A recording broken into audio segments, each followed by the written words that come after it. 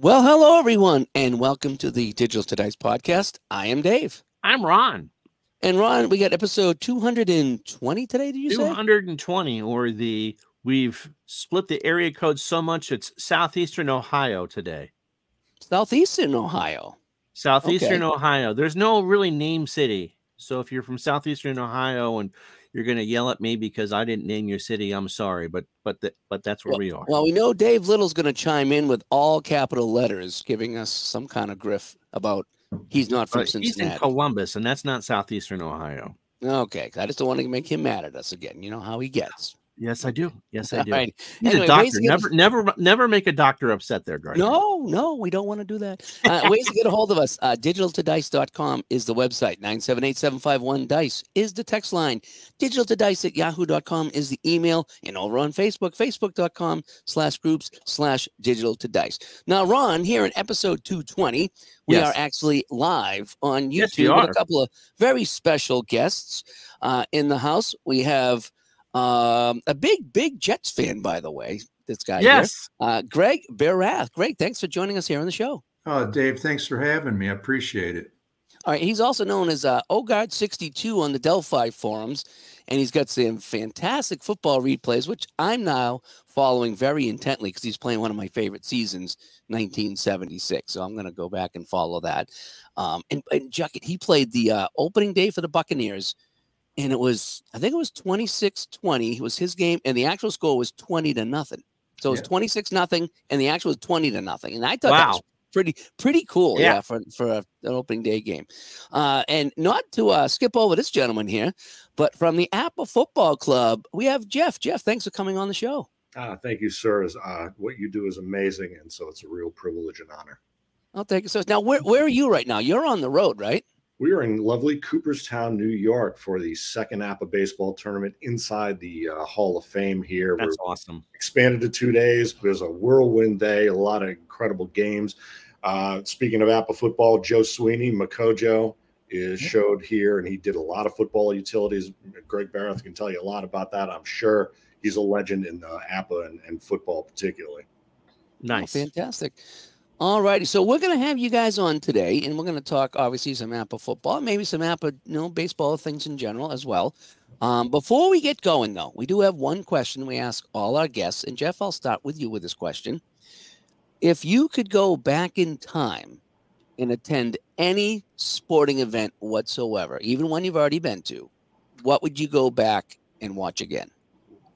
I would go back to um, 1980 Steelers at Bucks because I was at that game. My dad ran a small paper in town uh, north of Orlando, and we had press passes, and so I got to go down to the on the uh, sideline for the second half and take some photos. And I was like oh, wow. standing, standing right now. I hear this ball like hitting, and I turn around and like Bradshaw and Harris are right there. I would love to go because I was nice. like completely awed. And I got to go. I, I, stepped into the locker room and I saw Dwight White naked, and I turned right around. so, I would have had more guts to say, "Hey, man, good game." But mean Joe Greene didn't offer you a coke? Yeah, no. he throws jersey at you. I think he was probably on the plane back home or something. yeah, that's that's incredible. Uh, that's fantastic. All righty. All right. So, Greg, what about you? If you could go back oh, in a time man, machine, that, that's easy. That'd be a January 12th, 1969. I, I would love to have been there at Super Bowl three. Nice. Yeah.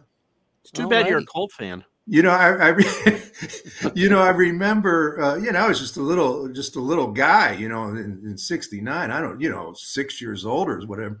And I remember my dad, man, he had so much action on that game. You know, he had so many bets on that game.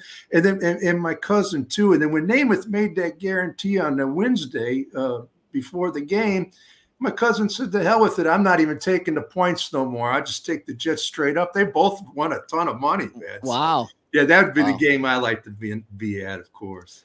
We had one, uh, and I, who was it, Ron, that said that he was at the George Brett Pine Tar game. That's right. I forget and, who it was. And his but... uncle pulled him out early to beat traffic, and he never oh, saw that. Oh, yeah. Okay. Imagine being at that game and it's like, oh boy, we made it home quick. And he's listening on the radio. He's like, what did we miss? He wanted to go back and finish that game live. Yeah. That's a tough one. I, be- I believe there probably wasn't any speaking to that family member for years after um after that. Yeah, that was the uncle. He's like, "We- "We're gonna beat traffic. Let's go," and they left, and they they missed the whole. I, I remember that now. Yeah. Yeah, that's kind of that was kind of the, one of the, one of the really sad ones that we've had on here. But anyway, all righty. So uh, we got some people in the chat room. Jeff, thanks for coming by. Thespian, thanks for coming by too. Patrick is stopping by as well, and Keith is in the house as well as a handful of other people. Feel free to chat. We will be taking questions in a little bit, by the way, um, for these gentlemen, uh, either for them or for about APBA football or APBA in general. We'll do what we can to answer them. Uh, let's start with with you, Jeff. Um, how did you get into tabletop gaming? What were some of the first games that you played, and then how did you get into APBA football? Sure, sure. Um, like a lot of folks in the 70s, you know, war games were big, Avalon Hill. Uh, I was a big Red Baron fan because a friend of mine up in Maine like played me the Snoopy and the Red Baron single. So I found that Avalon Hill game Richthofen's War and getting all those. And my dad was a football guy, so I found Cadaco, the photo football, the one not with the electric one with like the bulb in it, but the one where you'd like have an offense play, a defense play, put them in the envelope, put it on the pins, and you'd slide it off and see where the play went. Oh, okay. Never heard of that one. And then and then pay dirt, of course, the great one with you know the Cowboys and the Redskins on the on a cover. And then of course Street and Smith came along and I watching that magical 78 season and just we saw a lot of the Steeler games uh, in Central Florida and, and Bradshaw had just such poise, you know, and just a lot of incredible storylines that season. And it was, you know, it came down to the Street and Smith ad. Um, and in the version I saw, the Street and Smith ad was kind of an uh, the Strat-O-Matic ad was kind of an illustration. It didn't really show the product. And so I, I think I kind of confused it with one of those, you know, you remember all the betting, you know, the prognosticators had all those Yeah. uh, ads. And then the Apple page actually looked like it was the product. It, it replicated some of those big color brochures. And so I was sold on APBA because really, and I'm not the only one I've come to find out is that, you know, when you collected the Topps cards, I always thought, wouldn't it be great to put them on Oh, sure. you know and and a lot of other folks had the same idea uh, apparently so you know having the individual cards was just Did they was- actually have a picture of a card in the ad? Yeah yeah they had the whole setup. If you look at the old uh, APBA uh, pages and you can go to the APBA game site they have an archive. Uh, we contributed a bunch and a lot of folks Right. did. The old uh, you know brochure would show usually the super bowl teams like you know super bowl eight Okay. super bowl nine and, and they'd walk you through. I mean the, the, those brochures are legends so. Saw maybe it was on Facebook today an ad for the baseball game from uh, 73, and the uh, cards are Tom Seaver and Rusty Staub, which Staub actually had a pretty good card for 73. Uh, but but but yeah, I figured that would be a much better way to to do that than I suppose than just the illustration of the quarterback or whatever that Strat might have had. What about you, Greg? What you got? What got you into gaming?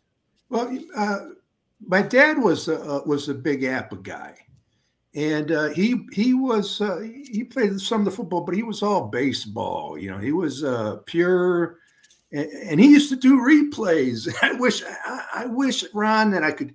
He used to write real small, and he'd have all those uh, those spiral notepads, and he'd do all his replays on them. And I think you know over the years, my mom probably you know discarded them. You know, and Roll the eyes, like what yeah, are you doing? I, Yeah, I okay. wish I still had that, you know, because he he would be so into it, and uh, he replayed the uh, '61 season because he was Oh, wow. a big, big Maris, you know, big, you know, baseball purist, and uh, Right. So that's how I got into it. Okay. I used to go up to him. I used to tell the story. He'd have he'd have that card table set up in the middle of the living room, and he'd have it there for months. It'd drive my mom nuts, you know. Oh, I bet it did. Which nothing she could do about it, you know. so so I would go up to him. I'd be like 12 years old. I'd go up to him. I'd say, you know, hey dad, can you know, can I play? And he'd look at me and he'd put that big hand out like this, and he'd say, son, this is not for you. This is serious. That's interesting because the whole point of these games was to be advertised to those of us who were kids. Yeah, I Yeah. know. It- He didn't get that memo, Ron. Ah. So when did APBA football come out? I mean, APBA Baseball just Well, celebrated. 58, right? Jeff was the first set. Oh, okay. Yeah. So really, Really? Yeah. Oh, wow. That's a long time ago. Yeah. And this is an original game by Seitz. Now, APBA Baseball was a former national pastime, so this was Seitz' first full. That's Yeah. right. Oh, and Jeff is showing Dick Seitz' card. As a- Hang on, let me let me solo you on. Hang on, let me um solo you out on that. Yeah. And so we can That's take a the, look at that. Yeah, this is from the reprint of National Pastime that Okay. all Wow. That's baseball for the audio people. brought that along. Yeah, it's APBA football is his really. I consider the first uh, uh, original APBA game. Sure. So 58 then for all the NFL teams.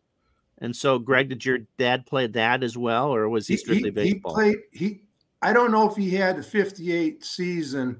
Uh, he played football, but he didn't like the football game nearly like he did the baseball game. You know, because there were some issues still, you know, back then with those with the 60s, you know, see Jeff knows. And uh, so I would play around with his football a little bit because he wouldn't let me touch the baseball.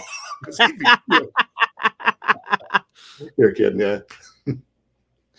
All right, so um, Greg, what, where are you now in, in the whole APBA thing? Because you know you you playing a ton of APBA, you have the whole website thing going and replays. Uh, how do we get to this point? what do you mean? How, how, how- did I Well, just you know the whole involvement in making videos and the whole bit. What got you into doing that? You know, hobby. Uh, I used to uh, back in the day. I, I, I used to be a pool player, and uh, Oh, so I'd be. Uh, I was on the road for a while and uh, uh, did all that. And uh, long story short, that that game controlled my life for probably thirty years, and not in a good way, you know. And uh, so my wife. Uh, she liked it when I finally get put the cue down, and that's when I got in back into app and got an app of football, and it was around early 2000 when I delved into it uh, heavy again. And have uh, it was earlier so she always really. liked to hear the dice because she knew I was home. You know, you know, you know what? Oh, Merle Haggard had it right. You know, those jukebox records don't play those wedding bells. You know, you're out in the honky tonks and the bars. That's not the place you want to be as a married man. no. You know, so- what was your pool game of choice? Oh, nine ball. Oh, nine ball. Yeah, yeah, yeah, yeah. So, That's uh, great. you know, I got so I got ba- uh, got into APBA football, and uh, you know, you it morphs. You know, it, it, it's a hobby, and one thing leads to another. Uh, not a good answer, but uh, that's how it happened. Is this stuff that you already sharing. had? I'm sorry. You- go ahead, Dave. I Dave. just say so you, you're just enjoying sharing your joy for the game and Yeah, helping some people with some videos that you're doing and, and instructing on your whole website there. you know, with all the a lot of it, Dave, too, is you fill in the voids. Okay. Uh, if I never seen a ton of uh, instructional videos when I did them, so I took it on and created them myself. Uh, you know, usually when there's a void, somebody will step in and fill, and that's for everything I've done. Is basically that. Uh, back at the time when I started out, it's been 10 years since I've had my website. Really, Jeff and I were the only ones I think that had a really an online presence at that point. Am I am I right, Jeff? I'm Yes, sir. Yes, sir. You yeah, with your with the football with the APBA Facebook group that you're you know yours and uh my website. Yeah, yeah, and it was good. We approached it from Besides BTL, you know, between the lines, you know. Yeah, that was the thing. I mean, you know, coming trying to get between the lines is great, and then it's the real, real deep end of the pool. It's like Mhm. galactic in terms of you know, but with emerging social media, I took the Facebook route because I wanted to, and it was completely accidental, but I wanted to get that that number up. I mean, you get become obsessed with that that counter, and Greg wisely took the blog route where he's got everything you know archived so that Mhm. it's much more of a standing thing that it's a you know a, more uh, perpetual resource Jeff, have you been a steady player since the early 80s? no i've i've had i think this is my fifth i would call APBA life i dropped you know because i'm probably the last person who should even have a, a gaming channel because i was just like oh steelers are doing bad. I'm out of it. I can't stand Right. it. Then, then the giants were doing well. My dad is from rhode island so i said hey maybe i'll get my dad to it's the complete opposite of greg. So i got the master game finally and i got a bunch of 70s teams during a warehouse sale and and then tried to get him into it. He wasn't into it so i dropped it again. Roethlisberger came on, and I was like, uh, you know, let me grab and see where they are now. As I was surprised, you know, those uh, Greg knows those cards with no backs on them and all, and Yeah. Mhm. Yeah. old- old- Perforated cards. Oh yeah, that was Oh, fun. yeah. I ordered Yeah. a bunch of those sets. I get Chads all over the house. And then then did uh, 2011 to like 2016, and then came back in 22. So it just it comes and goes. Like you said, it morphs, and you, you know I think it's good to take a break. I mean, you know, Greg is like no one on the planet is going to play the number of games and the way he plays it. So he's the utmost resource and probably the greatest thing that's happened to the game. So, Greg, what made the game click for you? Well, I'm a football guy. You know, I love football. Um, you know, played it, love it, breathe it, breathe it. Uh, it's it's one of my passions. And what I love, what I like about APBA football is it uh, it replicates the it replicates the ebb and flow of an actual game. You know, I mean, you're playing Dave now. He's getting into playing. Mhm. Don't you feel it when you're playing the game? It's like you're watching it on Sunday afternoon. I keep saying that. I and told Ron valleys. that. Yep. I was Yeah. talking to somebody today about maybe it was you, Ron, on the way home, and I was like, I can't believe how this football game feels like I'm watching a football game on TV. All Yeah. the quirks that happen, all the things. There was one game I played in '78. It was L- L.A. Rams at Philadelphia, and the Rams punter had two fumbles on punts. Me, so I'm thinking maybe it's pouring rain and the snap went through his hands, but two in a row, two punts in a row, I rolled the fumble on the kicker, and and they were done. And Philadelphia, you know, picked up a touchdown and a field goal. That's ten easy points off, off the punter's mistakes, and and mm-hmm. that stuff happens. Yeah. You know, and it could be two in a game. It just, you know, it's rare, but I mean, so yeah, I mean, and and I I talk all the time about um history maker golf from play, how that feels like you're watching the tournament play out and then the 18 holes down the stretch as you know the the back group is the top guys playing in and you're seeing who's hanging around from the top group that feels like you're watching sunday golf and APBA football feels like you're watching sunday football Absolutely. The, the other thing that got me into it is I wanted a game that I could shuffle different personnel packages. Because you know today's pro game, you know Oh, it's not like it's not like it was in the '70s. Everybody in you know 21 personnel, you know two tight, you know two running backs, one tight end. You know now there's so many different personnel groups, and you can do that now. And that was really got what got me back into that because I wanted a game to where I could have a two tight end set, go Mhm. to three wide, you know, that and then so Had you- app does that and it scratches my itch. Had you played other football games? Uh,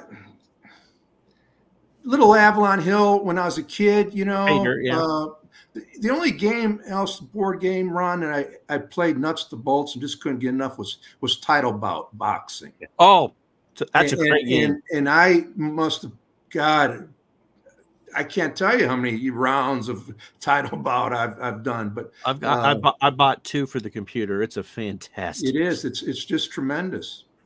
Jeff, what made APBA football click for you?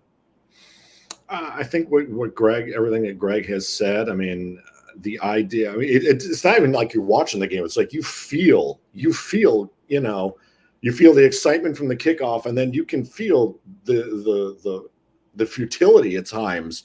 You know, Oh, Um, yeah, it's yeah. just struggling three and out, three and out. You can't do anything, and it's that intricacy of this system. It's simple. You know, some people might say it's simplistic, but I contend, and I know Greg. I mean, you know, it's not some relic, and you're finding that out. It's it is a viable, it is a hugely formative and influential game, and it is a simple replication of personal and team strengths compared to one another, combined with uh, the results by field position that make it harder to get that yardage from your opponent's nine to goal line. You know that that was genius, and to be able to see, you know, the the 85 Bears are 50 point pass defense, 47 run versus, you know, the Buccaneers originally were like 26 offense, 29 defense. Hmm. You know, and that and with, with every player rated one to five, you've got that window of 55 to 11. You're never going to see a team down at 11. I'd be like Pop Warner. But, you know, in those 20s, you know, to up until a the mid 30s and then the high 30s to 40s, you see those gradations. And if you follow uh, our APBA Football Handbook, you'll see you know, as we you look at the 79 Niners with uh, Joe Montana as an XF, an extra football player, is like a one pointer, and then two years later, and you see that mm. progression, and the numbers are popping off the card like crazy. It's like wow, it's just you can line these personnel up and see the the growth, you know. Mm-hmm. I think one of the best things about APBA, whether it's the baseball, the hockey, the football, because that's what I play, play a little bit of golf, but not much, is the base game is fine, but you really can make it your own with some little mm-hmm. tweaks mm-hmm. without wrecking the game or wrecking the results of the game. At least that's kind of how I feel because I've done the hockey game. I've really kind of made some changes, mostly just to how it the penalties are handled you've, and things you've like really that. done a good job making that game your own. But but that game, the, the instructions were kind of weird and clunky, and and things weren't spelled out. But I, I managed to kind of polish the edge of that hockey to now I can bang on a game, and it feels like a hockey game, and I'm still sticking with the core part of the game. And that's what I noticed with the football. And, and Greg was bringing up how he likes to bring in two tight ends and all this other stuff. And I noticed that when he plays, at least through his videos, he's always modifying the defensive number. And I think Tebow does this too is that you know when he brings in somebody, he changes the offense number. What I'm doing as a beginner is I'm just kind of st- going with the starter numbers, and that's my offense and defense number for the day. Unless, unless like I say, the quarterback's out. Like I think uh, Ken Anderson's out for the '78 Bengals, and, and Reaves is in, or something like that. So he he dropped one because he was one less. So the offense that day will be one less. But for the most part, I'm just kind of letting it run. And I figure if they're bringing in a second tight end, well, they're bringing in an extra lineman. And I just kind of let that play out because I, I, don't know enough about football to, to make all those changes. So for me, kind of running it basically is almost as much fun as I think Greg's having by making it his own with all the changes. And and I think that's what APBA does great is is you can really just kind of make it your own or leave it as is and it's still great. Yeah. I know when I play a game, I got I think like 16 different innovations I use, you know, in, in every game, and it doesn't slow me down one bit. You know, um, that's the beautiful thing about uh, I, I, APBA football is you could play it out of the box, or you could use a ton of different innovations that people have come up with over the years to enhance the realism of it. Uh, and I mean, I just absolutely love it. Yeah. And Jeff knows him. My, my, my best friend Mark Zarb, he's an incredible um, we had uh, innovator, and he's yeah. come up with some just game changing innovations for stuff like yards per catch innovation that really make the difference between your possession receivers and your your your your Homer Joneses of the world. You know the deep threats. You know uh, Cliff Branch type receivers. Uh, there's there's innovations out there that really take the game to the next level. Yeah, it does. We need to get him back. We had him on and we talked about his contributions to APBA hockey. Uh, oh, we need yeah. To him, we need to get him back on the show and talk about the APBA football at some point too. Is it possible to do cross era? I know it'd be very hard to get any cross era in football to be realistic, just for kickers and, and that. But you know, I always think about uh, uh, old Danny Hodge, you know, who used to the cards, good friend of mine, and of course uh, Jeff knew him too. And uh, uh, I was playing him in a face-to-face game at uh, convention a few years back, and he had the uh, 63 Browns, and I had oh, my 93 Cowboys. Oh, and, and, man, I tell you, ain't even fair, man. You you got a 70% passer, you know, going against, you know, a 50% passer. You know, I mean, Jim Brown, I mean, as great as Jim Brown was, you know, you know his linemen are out. You know, if you, if it was in real life, they're outweighed by eighty pounds. right. oh, absolutely. You know? I mean, I shut down. I, it was it was it wasn't even fair, and you know, so it's it's hard, you know. It is. Jeff Jeff and I had an experience kind of like that too when I was there with the '99 Rams playing your Lions. I'm re- I'm reading the uh the my wrap, wrap up of Canton 2013. I, I I I was convinced that I could take the 62 Lions. I just want to say, you know, hey, they, they beat the Packers. They're the only game that you That's know. Right. This, yeah, this is, yeah. It's a case where you know on paper you know the game's going to perform hyper well. It's tough to get that kind of momentum aspect and the intangibles. But yeah, yeah Greg, you had the uh, I played you the tw- against your 2011 Saints, and you it was 28-7 after three quarters, and we called it. Yes, yeah. and uh, I brought, I actually, and I'm sorry about this, Greg. I brought the 68 Jets to Canton last year and I played Dave Weatherby in the 2019 Chiefs. And I Oh. rolled like three straight sacks of Namath, just like I mean, that's the un, the other uncanny Yeah. thing was basically replicated. Well, you got you know a fifty percent passer there going against uh, Mahomes. You know, I mean, Yeah. it's, it's not possible. it But- ain't fair. You know, but it tells you, it shows you exactly that's why that's not going to work. Because right. you, unless you've got now, and in some of the newer versions of these sets, uh, case in point, the 66 Bears, where you had uh, Johnny Morris. Now, here's a, a big issue. If you're as played, you know, Johnny Morris, I think, right, uh, was injured in the second play of the second game, but he has a card now. He didn't have one in the 30 card original.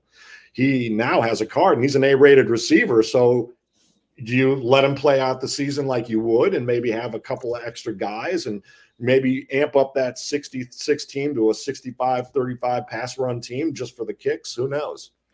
Well, I That's was wondering about the beautiful kicking game. If you wanted to, you could do it. You know, I've always wondered about the, the kicking game because you know you, you play a you know again a Jim Brown team against a modern team and and I can't imagine that those old Cleveland teams are kicking 50 60 yards field Well, goals. Groza was pretty good. and I though. tell Dave, the other issue is in the punting game. Just Oh. in the 76 game, season right here, I, I'm shocked rolling these games how poorly the punting was in 76. Yeah, I 35 but- yards was a good punt. Yeah, yeah, Yeah, yeah. I mean, it, it was. It, Well, that's why Ray Ron, got it, it, it, it- it's it's it's horrendous. You know, it's Well, the Tampa kicker was it Dave, Dave- Green. Dave, Dave Green. Green? Well, he was yeah, kicking and it's, uh, punting.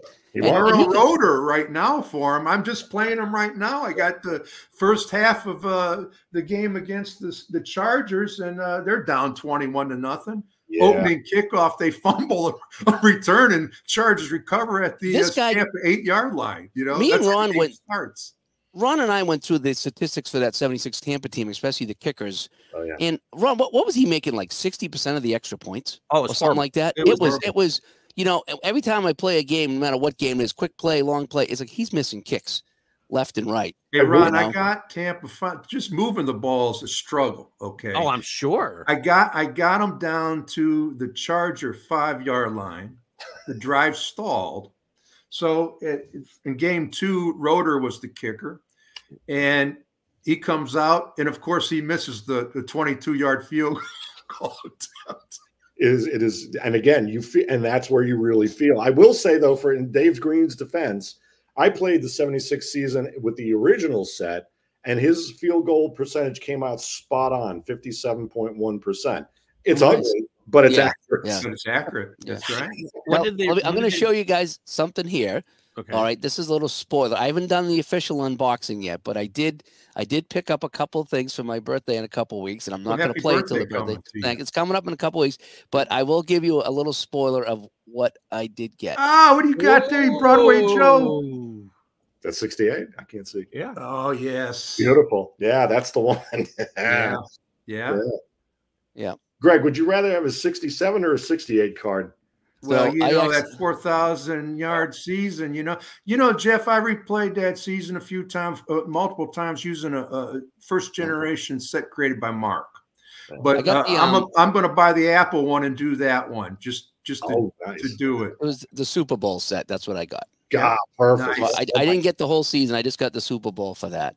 now if you you, know. play that game 10 times how many times do the colts win i guess But probably maybe ten out of ten or nine. out- I, I played one of the great. I've played a lot of games, and one of the greatest games I've ever, probably the greatest game I ever played. It was shoot. I was still living in Virginia at the time. That shows you how long ago it was. Okay, and I was what I was doing was I was, I just had a mini replay going. I used to like to do them where I would take a, a Super Bowl team. So like I'd take the six, 68 with the Colts and the Jets, and I'd replay their their their their season. So just I'd play the Colts and then I'd play the Jets week one, week two. You know, I'd alternate, and then I'd skip the playoffs and I'd play a Super Bowl.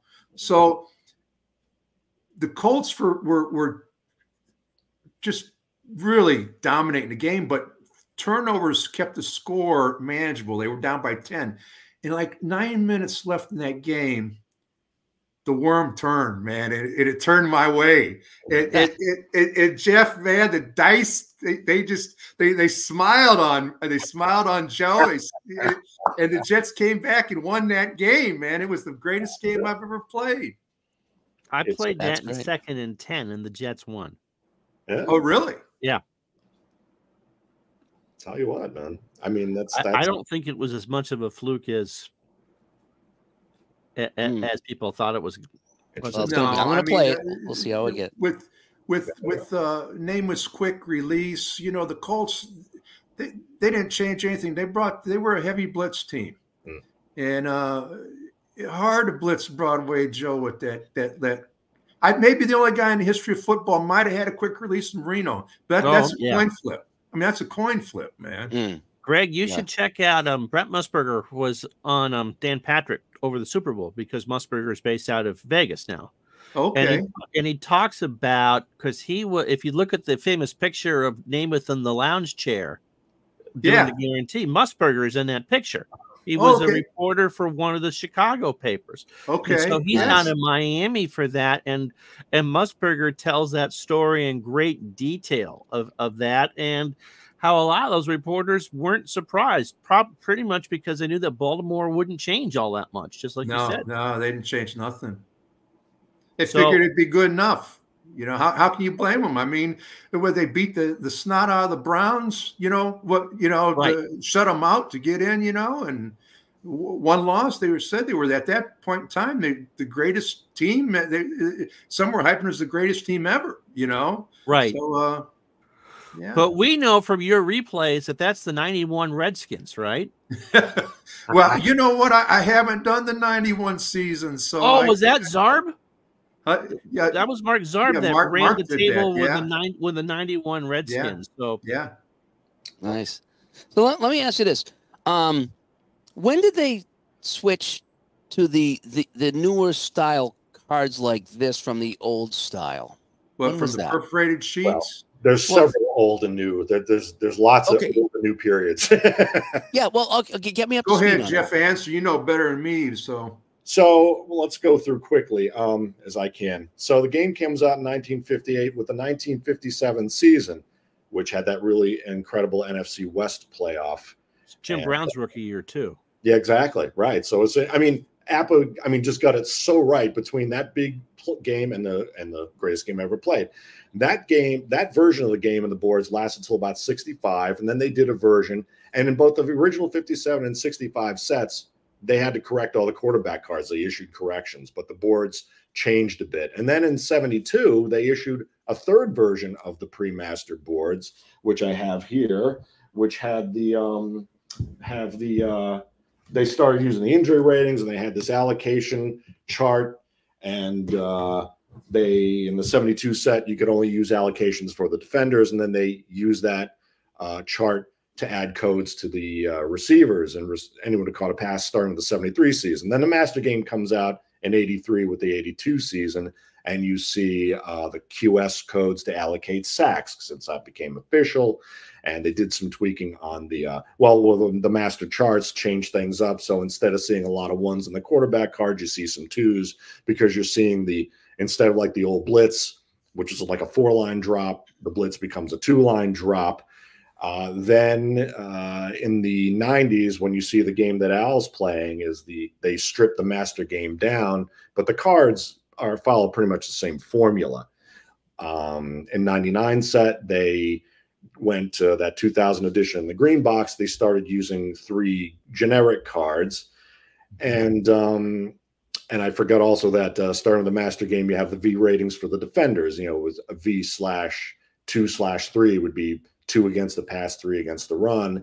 In the 2000 to 2022 set, they started using V ratings for the offensive players. Mm-hmm. In 2006, they added the uh, results 37 to 42 to the special teams charts. So most of the cards are the same, but that changes the uh, special teams a bit. That's why Justin Tucker gets that 37. And Ron Taylor is a great APBA football uh, historian and player, uh, pointed out that that's 37 is what gets you the Justin Tucker 66 yarder.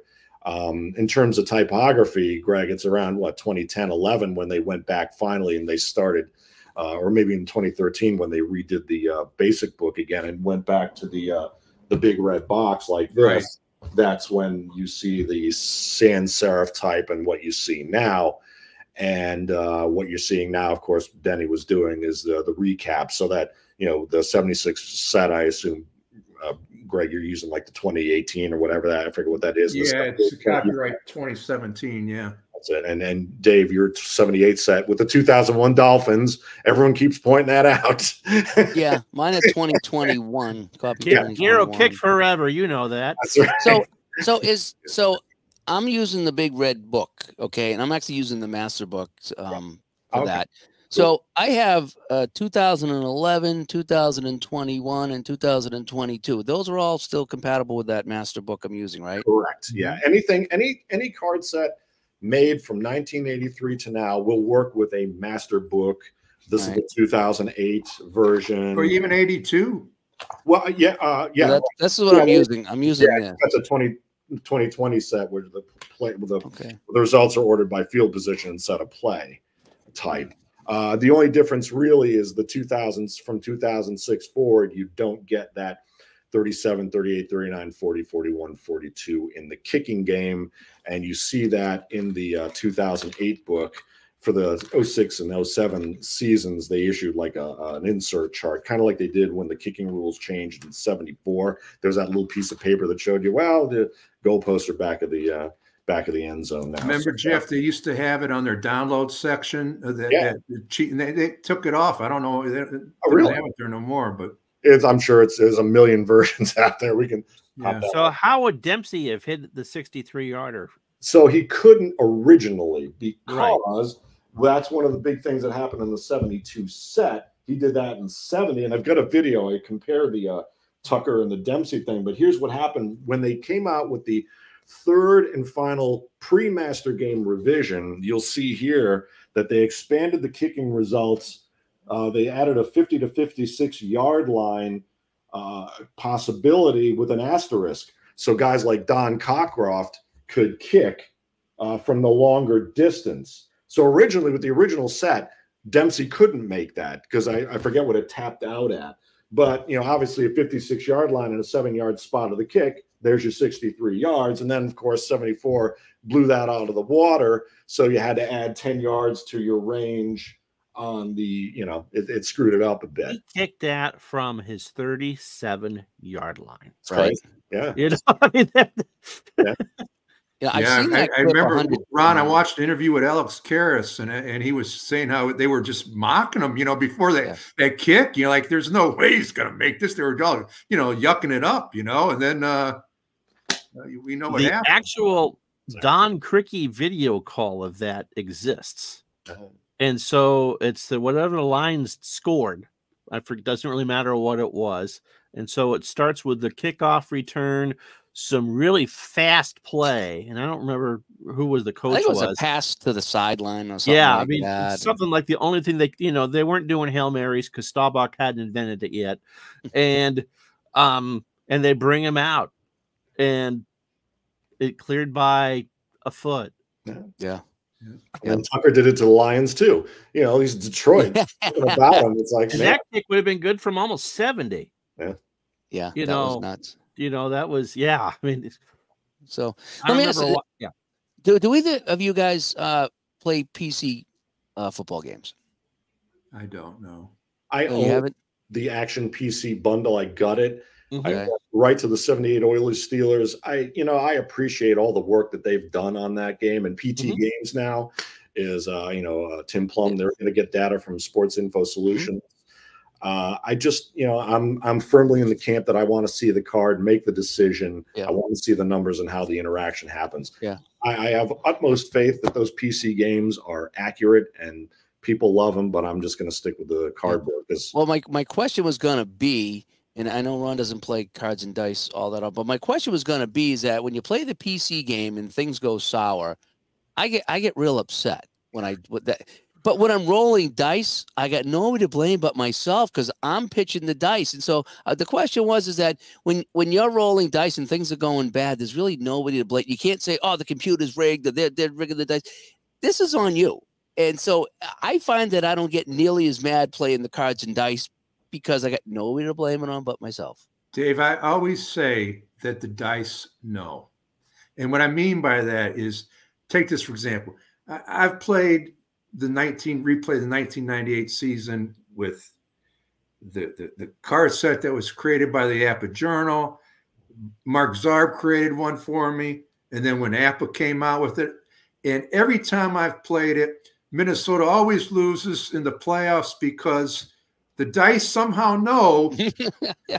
It's true. okay that they're not go- they're they're not gonna you know they're not gonna make the big play right you know I, I I got so many examples but it's just it's it's just funny to me it's like the dice are the great equalizer they they they I, know I will say this because of my physical issues. You know, the APBA style cards and dice isn't something that's going to work for me, Sure. which is which is too bad because I've seen what Dave does and he loves it. But I've done second and ten, which gives you dice rolls, which is you know I actually played first and ten, which you had to print the sheets to revise the ratings, and then it was you know that's a pure card and dice port. He's just made it so for that, and yes, I understand how that goes. You see how the dice roll goes, or when you know that you call the right play, and you roll the ninety nine, and he's flushed, and then you roll it again, and you see the roll again. I did um strat football, which doesn't play as well as what you guys are talking about. I did um a couple years ago. I did the Bills Chiefs playoff game, the divisional playoff game, the one where the Bills give up the 13 points in 67 seconds. My dad, if he was still with us, would would you know, oh, it- that would have killed him. Um, and that was one of the greatest things I've ever rolled. And I think honestly, because it was a card and dice thing, I will fully agree that cards and dice gives you an intimacy that you just even even in a virtual sense that you just can't get from is i mean if you've ever if you've seen my work you know that action pc baseball is my bread and butter for what i show on the channel. Mm. but as far as it being intimate and personal it's seeing the dice and looking the result on the card I got a question that just came to mind, and, and uh, Ron, I'm going to start with you on this one, Okay. and then we'll go around the table. Um, what was the in, in any of the games that you've played? What what was the closest to reality moment that you've ever had that maybe creeped you out? That said, "Holy cow! I can't believe I just played this. This is almost exactly how it played out in real life." Do you have anything that comes to mind that you were just like blown away? And I'll give you an example. I was actually playing a game of hockey, and I don't know if it was APBA or Bones or a shootout, but the goalie got hurt. And injuries in the hockey games are somewhat rare, and I don't use. So I played it as the goalie got hurt and put in the backup for the rest of the game. When I went to the the internet and searched that game, the goalie got hurt and they brought in the backup. What are the chances of that freaky. happening? In my, that was creepy to me because I'm like, Yeah. holy cow, this is exactly now the score might have been different, but this guy that started the game didn't finish this game in real life, and in my game it played on the tape. So that that was my creepy moment. Ron, do you have one? I think for pure computer, it would be I did um because my first replay I did online was 78 with Action PC, and I did that Dallas Baltimore game. And the final score I think was in two or three points of whatever it was that Dallas did. It was it was it was an absolute blowout. I think as far as as rolling the dice with helpers and all that would have been that that um Kansas City Buffalo game. Kansas City having to run right down the field and score at the Buffalo had they left Mahomes too much time. And and I forget who I was controlling in that game. I think it was Buffalo. But we left Kansas City too much time and to see again the magic of the cards and dice because you can see how it all played out. Mhm. And that and so yeah, I think that too. You That know, the one, other other one being um Fred Sanford nearly taking a no hitter in a World Series clincher in action PC baseball. But but yeah, you know, I, I definitely think that those because you are reading something besides the text on the screen for the results, um, just makes those things stick out more for you. Mm. Jeff, did you ever have a moment that was like, oh my gosh? I saved this one. I pulled this one out. I always love this one. Uh, I mentioned that uh, I went back to APBA in '87 because of the 86 Giants. And, uh, you know, it's one of those warehouse sales. So you could buy sets for like five bucks. So I loaded up on 71, 73, 74, 76, I think, uh, 84, 85. And I, you know, first thing you do, you play Dolphins, Vikings, Steelers, Vikings, and the Vikings. To Greg's point about the Vikings, it, there's there's a curse, sadly, across the board, no matter what realm, from poor Minnesota. But I did a deep cut in '74, figuring, oh, you know, Namath goes. I'm sorry, this is good, Greg again. When Namath goes to the Rams, so it's '74, Week Seven, and uh, it's the Rams and Jets now, the Rams were, you know, of course, in the 70s were a powerhouse. They always fell short. They lost three straight NFC championships 74, 75, 76. And, uh, but they, they, um, they, Rams played the Jets. And you would think, I mean, at the, the time, the Rams, I think, were five and, what were they, five and one before this game. And the Jets were like one and five. Okay. So, but the beauty of the system is that not only do you weigh the game, uh, you know, the offense against the defense, vice versa, and you had that old secondary rule where you tamp down the passes. So I just play the Rams and Jets. The original score was 20 to 13 Rams. Pretty close. It's like, how could that happen? And the Jets led 7 6 at the half. My score was 19 14 Rams. Oh. Point off. Wow yeah that that's what makes it fun is when you get those results you're like ooh it's fun getting different results but when you get close sometimes like ooh, ooh. it's weird so, so greg how about you yeah, I always consider it's like I'm not a golfer, but they say when you hit that one shot, you your first one, then you're hooked, you know, and you, you actually do it down, you know, right down the middle of the fairway. well, you know, that's that, that's the moment you're talking about. Well, you know, God, I, I Dave, I've rolled so many games. You know, I mean, I, I, it, it's hard for me to place, but there, there's one thing that stands out. I was doing one of those mini replays, and I was doing the uh, a test for Mark, and he wanted me to do the 2007 little mini replay of the Giants Patriots. You know, where I played each team their season and replayed in the Super Bowl, and I checked uh, Tom Brady's stats after the first two games, and I just compared it against his actual stats from the first two games, and the attempts were exactly the same, the completions were exactly the same, and the yardage was the oh, exact man. Now, that's so two games, but but after but that, I was like, "Wow, oh man, you can't beat this, man." you know, you can't beat this. So uh, that that that would I'd have to use that as my uh, like whoa moment, you know. Yeah. Wow. Well, no, that that's pretty good. So considering um, you consider considering that you call your own plays in in APBA football, uh, how, how would that even be possible? Because unless you knew that he threw X amount of passes, I mean, you know, how much game planning well, did you do beforehand? Before and, I play a game, I always review the box scores. Mm-hmm. You, you, see, but even with that, Ron, even if you have a plan going into it saying you want to get 38 attempts, most of the time the, the, the flow in, eh, of the game it's hard to, to replicate that. Right. Oh, know? absolutely. I played you know, enough football to know that. So for that to happen like that was, was pretty That's slick. Stunning. That's Go ahead, yeah, that's pretty good. Um, let me talk about the defensive cards. Uh, these right here that you can get from APBA. Okay, the defense play calling cards. When when did they come into play? Dave, can I interrupt you for a second? Sure. I don't mean to be rude. Uh, the creator of that is a dear friend of Jeff's and I, Ray Dunlap. And anybody out there, Ray just got diagnosed with throat cancer. Oh. And if you have any relationship with the Lord or you just have positive thoughts, send them uh, Ray's way. Um, he's the one that created those cards that you put up there. Uh, he's uh, uh an icon to the game, and uh, I, I, just want to throw that out there. Is he on the too. Delphi official board, or uh, he is? But he he doesn't. Uh, he's not frequent on on on BTL that much. Okay. But yeah, uh, but uh, good thing is uh, the the chance it's ninety percent survival rate. So I mean that's right. I like going in those with those odds. But yeah, yeah, yeah. You hear that c word, and that's uh, yeah, yeah, yeah, yeah. That is it's terrible. Well, thanks for pointing that out, and we'll we'll be thinking of him for that's for sure. Yeah. Um. But w- when did uh when did he come up with those, and when did APBA put them for sale, and, and kind of how did all that kind of work out?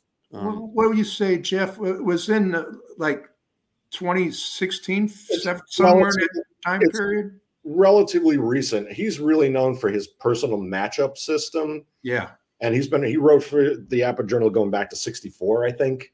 He was actually a Tampa Bay Buccaneers statistician in the 80s. Yep. Uh, he's, his impact in the game is immeasurable. You and Greg and, and Ray went in the Hall of Fame at the Hall of Fame same time, same class. Yeah, it's it's around uh, 2016, something like that. And uh, folks swear by him; they like it. They like to make that uh, extra point matter for the defense. It does override the traditional, uh, you know, offense versus defense thing, but it does. Dave, Dave explain those cards. Uh, well, how I play it, and, and I always specify how I play it because I could be very wrong. But what you know, it's a plus 25 to minus 25. And so what right. you do is you compare the off the 11 guys on offense and total their number to the 11 guys on defense on the other team and that's going to give you a positive or negative number and that determines which card you use okay what i like about the cards and, and i could be playing them very wrong but so i've been you having choose so one fun. card per team it's not that's something well, that well again well that that's what I do. I, okay. I, take kind of the starting lineup and yep. I freeze those in just while I'm learning the game. Right. Other people, I know Greg, when when he brings guys in and out, he'll he'll go and say, okay, now I'm going from plus two to plus three because I've made some changes in the lineups, and I think Tebow does that too. Is that he'll he'll, he'll take a different card depending on what. Well, so and that's when you get really involved in the game, and that that's so the take the difference between the offense and the defense, and that's and what that's card, card you use. Now, if I look right here on the, the plus 25, which is as good as you can get, if you look at this card, you'll see a lot of C's. Okay.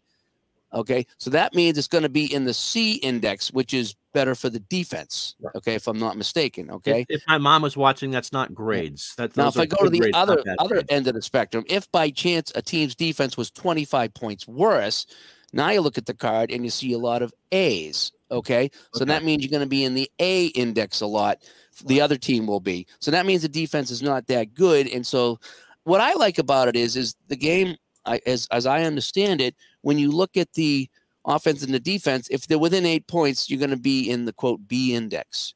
Okay. And I think that's for all your runs, and that will only change with your receivers. That might change to an A if you have a receiver. What I love about these cards and why I use them is that each card has a mix of a index, B index, and C index. So you're not stuck in B. In in my mind, and again, I could be very wrong here. If I am, pointed out. But in my mind, when I instead of being in the B index, let's say I'm in the A index for this play, that means someone on the offense either made a play or someone on the defense didn't make a play. And conversely, if I'm rolling in the C index, that means the defense is ready for it and they're geared up. Maybe they keyed on the guy correctly, or maybe someone on the offense didn't make a play. And that's that's kind of how I and I love to see that variation. So I'm not always in B, B, B on every single run. That the idea that, oh, I'm in A index. The offensive tackle made an unbelievable block, and now there's a chance for him to get more yards. So that's how I understand the cards when I play solo. Um, and and maybe I'm wrong with that, but I I, I love the variation. And again, the better the defense is, the more C's on the card, and the worse the defense is, the more A. So it does move around, but it's it's not it's not static. It's very dynamic to each individual play, but it is weighted to whether defense is better. So is, am I kind of in the ballpark? Yeah, you totally. And and it is really it's worth pointing out that it's kind of the obverse of the way the game was conceived. So um, in the old, you know, basically what you're saying, you would when you achieved uh, an offensive index uh, this is the older board, so it was a plus 10 to minus five.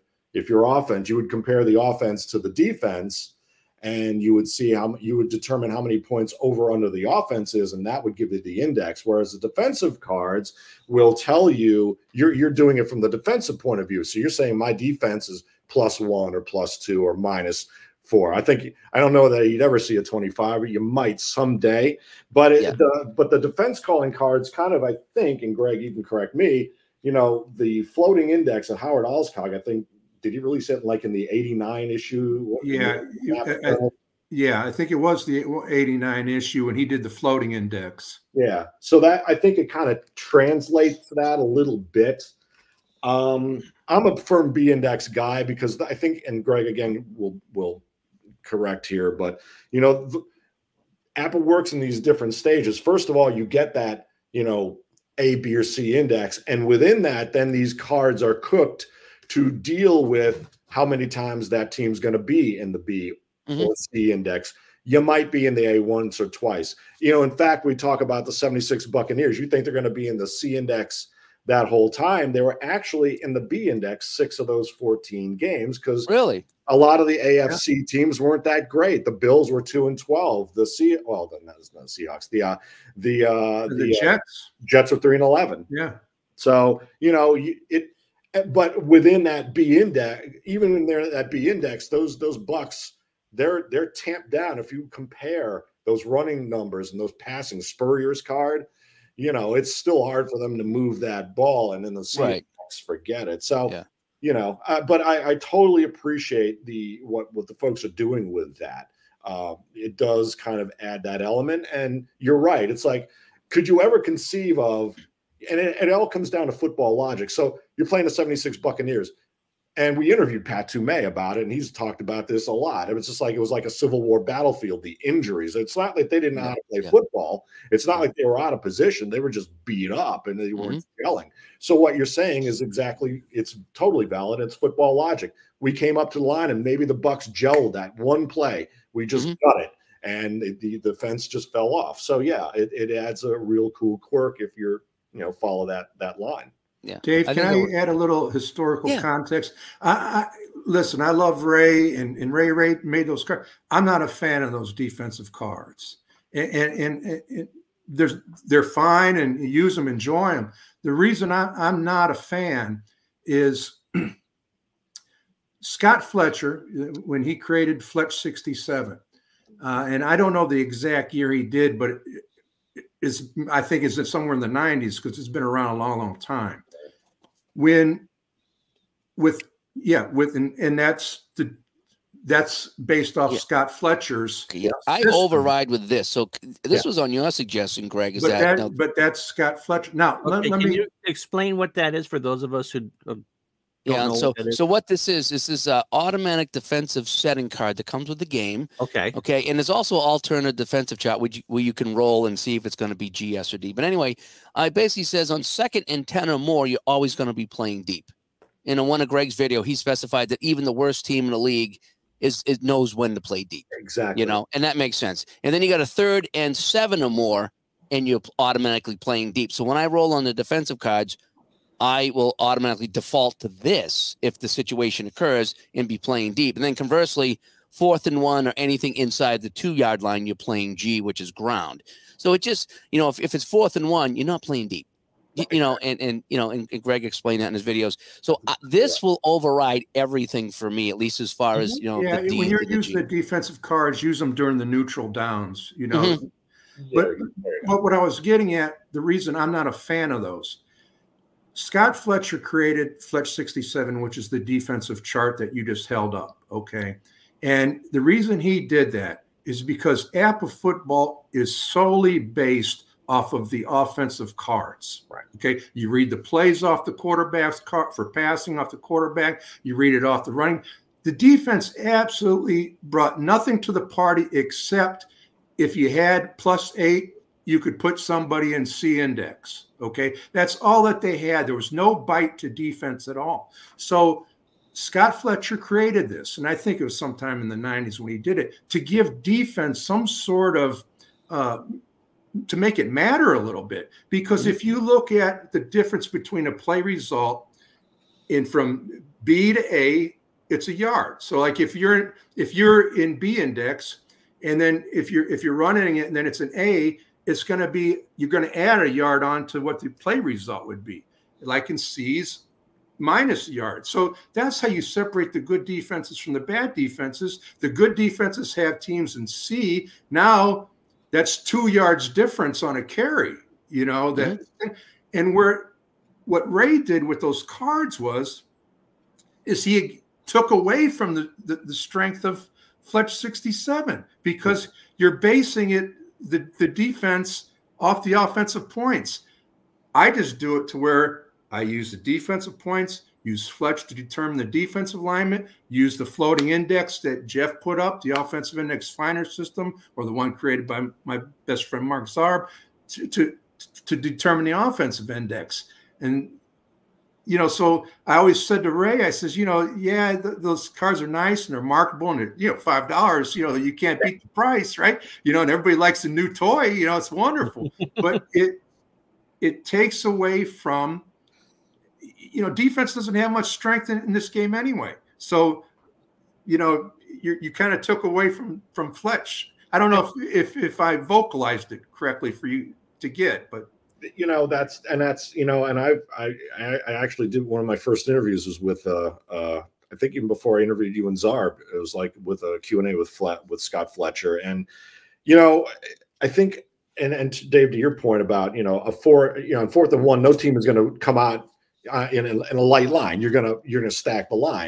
so I almost felt like, and this may be sacrilege, and I totally appreciate everyone who's modified and created, taking the time to try to make this game matter even more. But I've always felt, I wondered, I wondered if if that's not like almost a double jeopardy kind of a thing. It's like it's already a bad team, you know. So to put them out of position more often than not, is that sometimes and, and Dave, like you noted, you know, it's and second and more than whatever, you you have some automated automatics that you're going to call. But in some of those cases, I wonder, you know, ultimately, you know, it's uh, one of the things I miss in the old game because defense really mattered was in the secondary, where the, it's the old eight point, 16 rule. Yeah. rule. I, I know Zarb, I think he didn't like it. I loved it because, and I'll go back to the 76 Buccaneers they played, you know, they they finished their season with the Raiders, Steelers, and Patriots. Okay, um, that's bad. and the Raiders row, yeah, yeah, and the Raiders off uh, defense originally was forty one. So and their offense forty six. So the, the Buccaneers were in the C index, and it's a fifteen point defensive index. But the Raiders didn't have a sixteen point secondary, which shuts down the long and the short pass in that original game. So that that one point shy in the secondary allowed Spurrier and the Bucks to score, you know, move the ball a bit more. And in fact, the uh, original, uh, what was it? The Raiders score, the original score, speaking of uh, actuals, the actual score is Raiders 49, Bucks 16. How did Tampa Bay score 16 points against the Oakland Raiders of 76, no less? I got the Bucks to score 17 points. I think because of that just slight – thing that they used to have that would make the secondary matter. And if you go back to the APBA journals, folks, by extension, logically looked at the front seven. If you got uh, an average four points of that front seven, that 28 or more, you can start dealing with maybe you know reducing some yardage or uh, you know their their defense wasn't bad at all. The Bucks defense, yeah. it was their offense that was so yeah, they know, couldn't horrible. the ball. Yeah, and then they got the Selmon brothers for 77 yeah. and, and, forward. I mean, that's how the, there's a reason why they got to the playoffs in three years. I always say when you play solo APBA football, if you care about defense, and I care about defense because I consider myself a purist, is if you bring to the party Fletch 67, and if you have used the innovations, the sack and interception innovation, and Howard's forced fumble innovation, now you brought three things to the party for the defense. And now now it gives them some teeth okay? Mm-hmm. and, it, and it really really makes a difference. All right so obviously there are people who are going to be watching and listening to this who, who haven't played interested in the game you know have watched some of dave's videos so talking about great defenses there's two teams to me that come to mind the 85 bears yeah. and the 2000 ravens Yes. If you bought the game and bought the teams to, you know, bought that particular season, how are those defenses because they are so ahead of the curve? How are they going to play out of the box? The 85 Bears, I'm looking at my uh, the short version of the handbook here. Like I think I mentioned their 50 uh, their their base defense was 49 out of 55 points, or if you use the V ratings, they're 50 against the pass, 47 against the run basically no one's going to have a good day against these guys. And yeah, you know, you don't get the strip fumbles in the game uh, automatically, but uh, you know, but Dieter Brock's going back to Canada. Yeah, I replayed that 85 season and uh, the Bears finished 15 and 1. Of course, they won the Super Bowl. They beat the uh, wow. uh, Raiders in my Super Bowl. And the funny thing was, is in the week two, they lost to New England and they lost by a point on the last play of the game. And, really? and, I remember there was a big uproar on the site, like, "Oh, there ain't no way that you know they, you know, they, they should lose this." game. hey, listen, you know, New England made it to the Super Bowl that year, as, as you know, they've they played each other. But right. Uh, and and that and, and actually because and that goes back also to you know because it is the game is read off the offensive cards. Any team that played those 85 Bears, those 2000 Ravens, some of that's kind of reflected in there. Is that baked in, of course. So you know, it kind of that's where you kind of get some evening out. I you know, I'm far less. I'm not going to try to match the deeper understanding with the folks who are actually you know deep in there. But uh, the Ravens, for what it's worth, had a 48 overall defense. 46 pass 50 runs so you know the funny thing about that team jeff was is great and they are you know they're the 2000 ravens you know they're historic but they weren't even the top rated defense in the league that year. The hmm. Titans were. I really? mean, they were two. You know, Tennessee had the number one defense. And that's that's another thing. I don't have their number here, unfortunately, but that's the that's the other thing. that's great about APBA football when you you, you know any game when you go back and look at some of the, the intricacies like that. It's like, oh wait a minute, how did that and how does the game reflect that? that's the real trick those things that you may not you know because lore and myth take over it's like but wait a minute this actually happened statistically so that's mm. matter of fact that's my next replay i'm replaying the 2000 season that'll be my next one so i'm, I'm actually looking forward to that okay very nice yeah. uh question here for someone who's just getting into the game the basic game versus the the master of advanced, whatever you want to call it. What do you think some of the big differences is in that? Without going too deep into it here, and and who do you think it's suited for? Like uh, you know, the basic game, the master game. What what do you recommend to people, and what are the reasons? Well, I always say you know, and Jeff will know it. Back in the early '80s, there was no difference between the master and basic. It was it was one game, and it was really it was the master game, and it was thing. And when I hear people talk master and basic, it all comes down to the instruction manual, and it all comes down okay. to section two of the master game instruction manual. So, you know, I don't care. I use the basic boards, but I use I'm the master. I use all the bells and whistles, of the master game, and and like I said, countless innovations. Section two is when you implement all that, the bells and whistles, then you're playing the master game. Okay. okay. The, the boards you're you're using, and you're just reading it to read results. You know, uh, so. But if I'm saying for for a nobody, somebody starting, I would say use the basic game just to get down to the learn the mechanics of, of the play mechanics. You know, and just and it doesn't matter if you're you got the master game book like you, just learn the mechanics and, and play the mechanics just like like you're doing right now, you know, and uh people always get too wrapped up on the the, the actual boards. What the, the whole thing revolves around what's in those instruction manuals Okay. okay. That, yes, uh, that's a real sticking point for me. I I I'm gonna. I wish they would just kind of do away with that because the version that you see Al using, which has this nice, beautiful board, right? Okay. Mm-hmm. mm-hmm.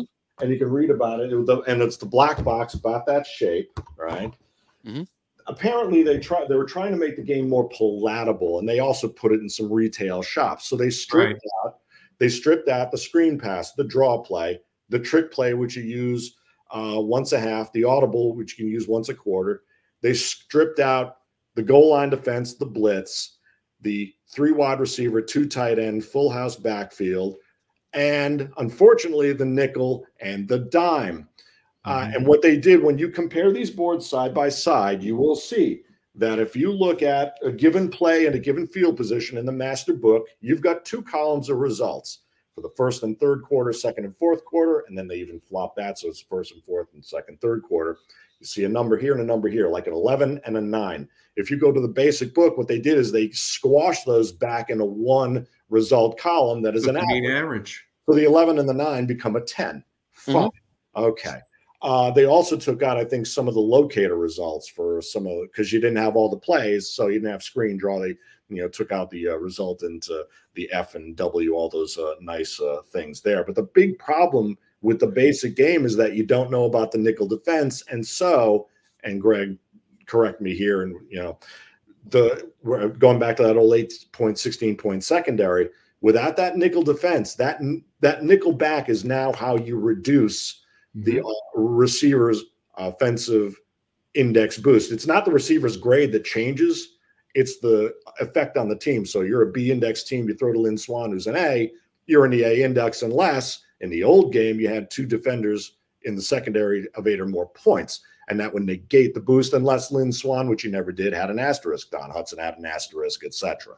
Mhm. Uh, in the basic game, folks don't know that because that manual is stripped down. And so you might get inflated receiving numbers because you can't reduce that A index. Now, again, it depends on the nuances you you play with, but uh, that's a point I think that you know I would advocate exactly what Greg just noted is that Strat is three versions in the box. Just go back to that. I mean, I get that it was a an attempt to make the game more palatable uh, and maybe more accessible, but the mechanics are exactly the same the master game and that's you know i and others have created these little shortcuts to show you that if you you put in two tight ends and you run you go up two lines on the runner's card so for like a 17 to a 15 you gain more yards if you pass out of a two tight end you drop two lines on the uh, on the quarterback's card from like a five to a seven and then that also you would add in Can, any I- can, I add, add something, Jeff?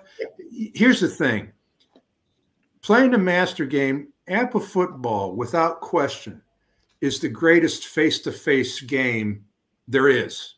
Okay. It- anybody that knows anything about APBA would never disagree with that. It's the best face-to-face game there is. So all the bells and whistles of the master game are really more geared to face-to-face play because they skew stats. Okay. And you don't care when you're playing face-to-face. When you care about is winning the game. You know, Right, playing right, to win yeah. the game. Now, when you're doing replay, you're playing solo. I I don't do any unnecessary line changes. The only uh, they're very minimal. I come off some off keys, and every now and then if a blitz comes up because you don't want nothing to skew the stats. Everything's baked into the cards. So right, right. you know that's very it's great knowing all the bells and whistles of the master game and all the line changes. You know, I know them all, of course, by heart. Uh, but I would only implement them if I'm playing a face-to-face game. and, Right, and right. time and Does that again, make sense to you guys? Yeah, yeah. And this is a question from from Pete, and he he- he's probably asking what, what I'm doing. He Goes, yes, can I just play the basic game format using the master game booklet, which I just showed, yes, sir. with the so I get the added benefit of having the draw play and the screen Sure. pass and the rare plays. Absolutely. And, and that's kind of what I'm doing. I think that's how I'm playing. is I'm- absolutely. so Oh, I'm you're, using- you're using the you're just using the book to read results. right. I mean, cards it doesn't matter which book you use. Right. Those cards, there's no different formula for the basic. You don't buy a different NFL set that's basic and a master. The No. cards are okay, so, so they they work they work together. Okay, good. That's good to And know. and Now- these cards are created. APBA football is created for the basic game. It is basically created to be in B index. Okay, exactly and it's not created to for, for all these these line changes. Yeah. It- it's not. And what no, people- he's yeah. He says here, I was confused because the APBA wes- website states that the master game booklet cannot be used independent of the basic game. that's all- and I that's all- think we had a conversation. I don't know if it was on Facebook or email. And I says, I think that just means, you know, they want you to have an understanding of the basic game before you get into the master game. Is it? Yeah. It's like I use the basic boards, right, Dave? But I I you know glued like on the back page all I don't know if you can see it, all the screen passes and draw plays. I have that just glued on to here. So I and I don't care about rare plays because for me, I mean I've played so many games and and, and they come up way too often for my liking. Okay. Okay. So, you know, I the the the you used to get with the old 08 book, you would get the the old version of the master game uh, uh, rules, which encompassed all the mechanics of the so-called basic and master. And this right down gets to the point now where you know that's eliminating that confusion to me has been a big mission. And maybe I'm just completely wrong about it, but I just it bothers me so much when people are confused by this and that can be off-putting and it just it just it's a sticking point to the purchase and i really would advocate for considering you know just combine them again and understand. You don't have to use these rules just like in the original version of the rule. Here's your original uh, you know blitz and ground play. You don't have to use them but they're there. But the mechanics are the same. You know jeff I, I, I miss the big white boards, man. You know, I, I, I tell you, I used to have them pre-positioned at my desk, right? And I would break every move I had was choreographed. I looked like a ninja, man. I had these. it was comical, man. But I, I, I loved them, man. I I loved them. It it was so elegantly coordinated, you know. I mean, I really do miss. I mean, I do like the 2008 small book, and I really do love the uh the uh, color coordinated ones that came with the mid 90s. I think that was probably the best thing that came out of that version because uh, it's small type, but they're these boards, but they're smaller. Yeah. So, you know, I, I really do. I use that set a lot for those results. I'm getting good at the book here because I have it off to the side. So I'll roll dice and I'll be, if I, okay, short pass. So I'll flip the short pass as I'm rolling this. So I'm getting pretty good yeah, yeah. with that myself with the, with having the book over here on this side. Go ahead, Ron. Now, do you, do you, do you put tabs on yours? I always, I always put I do. Yeah. I got a couple. So I open up, I get yeah. like kickoffs, returns, penalties. Yeah. Just, and, just these go, yes. you know, just put these on in or You don't have a memorized reference, yet? you know? He does. He's just those, those big white boards, man. I, I, used to after every replay, I'd have to order a new set oh, because the Whoa. ink would wear off them. You know, you'd be grabbing them, you know, and and you remember the Jeff the, the 2008 oh, yeah. booklet, yeah, you know, the color one, the one right oh. there, you know, man. The, the, the colored ink would just wear off that for me. yeah, I yeah, use them so yours. You know? That's why I love the black and white ones. They last. Yeah. You know? That's a very good point too. Yeah, I think I saw. I think you're. I think you might have been using one. You must have been at, at Canton the first yeah, one. Yeah, yeah, used yeah. And it's just like it's game. Talking about game used, man, that thing was relicked like crazy. yeah, well yeah, yeah, yeah, well loved. So obviously, formations have changed an awful lot, and especially in the last twenty five years. I mean, no one's running a two two running back set. It's you know three wide receivers, four wide receivers. The cheerleaders are running routes how does you know how does APBA football handle a modern offense a game that was designed and you know you're holding up some of the charts for plunge plays. I mean, when's the last time you saw anyone run a plunge play? Yeah, those are the old boards. Yeah, yeah. right. But so right. so how how has APBA kept up with I know that most of the people well, who'll be watching or listening don't play a lot of modern seasons, but for someone who would get the game that is new to it, how, how does it handle all the, the fancy dancy smancy stuff that we I, I don't today? know how you know, like when you the multiple wide receiver, the four wide, five wide sets, it's really the the, the, same rules as as three wide. Okay, right. they don't really uh, uh, uh, address it, but they what they do though is they they they've done good at keeping up with with fads okay?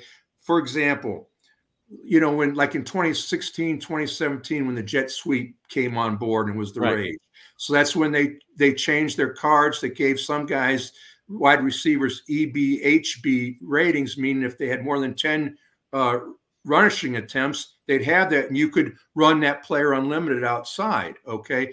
Or like this year with putting the uh, coding for for running style quarterbacks. Okay, now Lamar Jackson. Yeah, so they, they do things like that to keep up with the uh, modern game. But from the personnel standpoint, not so much. Not you know, mm-hmm. they're not not so much. Um, but I always tell people this is a simple game engine. Okay, if you, I yes, do I use a lot of bells and whistles? I do, but I don't they don't result in multiple line changes. Okay, mm -hmm. they that's a trick. They they don't. So keeping the game simple, you're going to get the best results. Mm -hmm. Okay. And you can, you know, you're going to do the 89 Oilers or something. You got to do run and shoot. You can put those four receivers in. You don't have to worry about love you right, blue. Right. You don't have no. to worry about that. You've got four A grade receivers. Knowing if you're playing face to face, no one's going to key them. And you know, even you know, solitaire. I mean, you can do what you want to do. It doesn't matter if you're playing the '78 Raiders. You got two uh, A grade tight ends in Chester mm. and Casper, which is just one of the greatest teams I ever. You know, it's beautiful. Fun and season. Fun so you season. can do that. You don't have to you worry about the Jeff in the in the. Uh, I, am if if you don't mind me, uh, if I read something, it's from the uh, detailed rules from the basic game selecting lineups and just to select the starters at each position, offensive and defensive for both teams. Regular starters are listed first on the roster. However, feel free to alter starting lineups to match your offensive strategy and your team's talents. You could start the game with three wide receivers, one running back, two tight ends, one running back, or two tight ends and one re wide receiver. You could put anything you, you want in here, but with the basic game, they, they, they're not telling you that you're going to have any additional line changes, okay, like you do mm-hmm. with the master game. You know, like okay. not to get in the weeds, but if you're playing the master game and you go to a nickel defense, okay, that implements the reduction rule, unless the receiver's an asterisk receiver. If you go to a dime defense, you also have the reduction rule, but now it's lowers the offensive pass by two, and then it makes the the run defense, you raise it by two. So hmm. you're getting all these. That's why it's fun when you play face to face, head to head. Yeah, you know, right. yeah. You, I mean, sometimes you could have a, a play to where there's a, a, a six line drop. Yeah. Okay. Oh, yeah, exactly. I remember us playing a guy, and uh, I think he had uh, uh, fourth and goal. All right, and he came out and uh, I, I think he went uh, three wide okay, trying to to get me to, to so what I, I I had a feeling he was going to run the ball, okay? So I went goal line. I keyed, had the correct key. So now it was a six line drop because with with the three wide, okay, you would raise two line raise for a pass, but you drop it by two. So that's negative two. Okay. So I went I went goal line. When you go goal line, your defense is two better against the run, two less against the pass. So now that's a four line drop. And then with the key, that's oh. a two line drop. That's a six line drop, right? So you, you, when you have stuff like that happen, it's fun. Yeah. And that's where you pull the audible card if you still have it. Then it's like, oh, sorry. That's what he called timeout. yeah. You can't change your personnel, but you can do that EBHB thing. Yeah when you key on someone, if you're playing face to face, you key on somebody. Is there any downside to keying on somebody if you no, key wrong? because if, if you if, if you don't guess right, it no harm, no foul. Okay, you're just going to okay. go with the play result of. uh Okay. Now a couple of people asked, you know, we, we did touch on this earlier, but I do want to I want to jump into this. Um, if you've played anything aside from APBA football, and if so, what makes APBA football so special to you guys, maybe compared to anything you've played? What is it about this game? Jeff. Well, I'm a one trick oh, okay, pony. Okay. I, I don't play any other games. I, I could guarantee you this I'm the only member in the APBA Hall of Fame who's never played a baseball game in his life. Okay, I tell people if you if you put a gun on my head and said, "Greg, you need to roll an APBA baseball," I said, well, I might as well pull the trigger. You know, I'm sure I can figure it out. Just, just pull it, rolling dice. But uh, my, my point being is, oh I love APBA football because it captures the essence of the game. Like I said earlier, it catches the ebbs and football is ebb and flow. Okay, you're going to have the momentum for a little bit, and then the momentum's going to go away. And APBA does a phenomenal job of of catching that. And I love APBA because I don't know, maybe because I was a lonely child or whatever. Uh, maybe because learned, your dad. I learned how to play by myself, and I learned how to see things in my mind with my imagination. I call it my mind's eye. So when I'm playing a game and I'm really into that game and and and I'm in that. I mean, really in the zone with my focus. I'm seeing the shit come alive. Excuse my language. I'm seeing stuff come alive, man. It, it is just it's just fun. It's just fun. Uh, you know, and and that question, and it's a valid, super valid question. And I know, folks, and this there's kind of, I'm not saying the person who asked that, but there's I think there's often an undercurrent, like because you know everyone makes jokes about how long the APBA basketball game plays. Oh, I'm I'm still still playing the game I started in '74, and I start I'm starting to feel some of that's creeping in toward APBA football. It's like, whoa. Uh, I went out to play.con, Keith Avallone, of course, the great. Uh, he's a big APBA guy. He was. Uh, I got to play him. I remember emailing him like in 2012 or 2013 because I was when I was running the Facebook page then. I was saying, well, what are some other games you like? Second season was perennial top favorite, and so I bought a copy and I and it, and you see he uses an 11 to 66 scheme for a lot of things. Completely different engine, completely. And uh, this year, last year, I got to play him 69 Saints against 69 Steelers first half with his APBA set, which he actually remembers like the results on the cards. He played that wow. game, APBA football, so much. Uh, and he, and you know, and then we played the second half with second season. And I was having trouble because he's obviously the designer, he's a genius, he's a god, and he's going real fast. And I'm like, wow, but I get it. You've got matchups built into the charts. And one of the things he does is that apparently, you know, an app of the doubles, the 11, 22, 33, 50, mm you know that's like automatically good in second season as i understood in that brief thing you know was it's different it's like you you mm-hmm. you know but i i think that a lot of folks are are have looked at APBA and they kind of you know maybe want to get away and and strata's a different engine um as i mentioned you know uh APBA I like having defenders cards. I think they do matter. They matter to me psychologically. If I see Ray Nitschke or Jack Lambert or Chuck Howley, that card, that matters to me. I just want my guys there. And they will, there will be an influence there if they get that, you know, you know, or Richard Dent, you know, with that QS allocator or something like that. Uh, but I've collected them all. I mean, Fourth Street, you know, Brian Aldrich, he's got a he's got a a, um, a take on that. I mean, APBA informed a lot of design.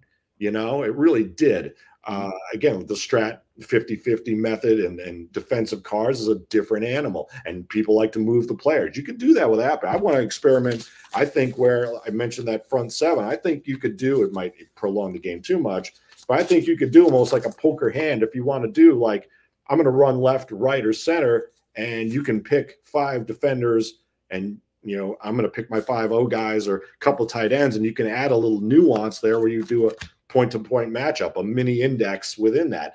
I would probably make the game double. But I mean, you know, APBA has that capacity to expand. Um, second season, Fourth Street, Inside Blitz, 5D20. I've you know I've got them all.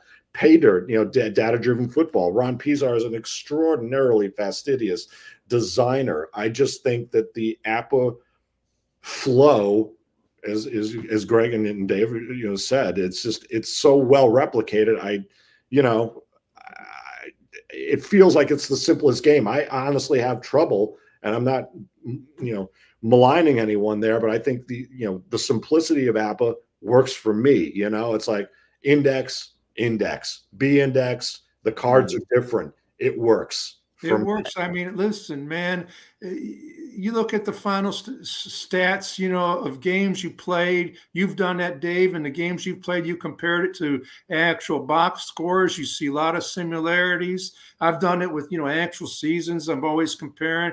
I mean, it comes out, you know, so close, or at least you know, to me, I always say I'm always in search of the perfect replay, you know, and mm -hmm. and, and the definitions changed over the years, okay? Because you know things you know, change. I want, if I want it to be exactly like it happened, why would I want even play the exactly. game? No, I, yeah, you know what I mean. Ron says this all the time because people says, "How accurate is it?" And this and that, and oh, this didn't come out right. Ron's like, accurate. Ron's always saying, once you roll the dice, it's all fictional. It's all different. And if you want to see exact, go to newspapers.com or go to YouTube and watch the game.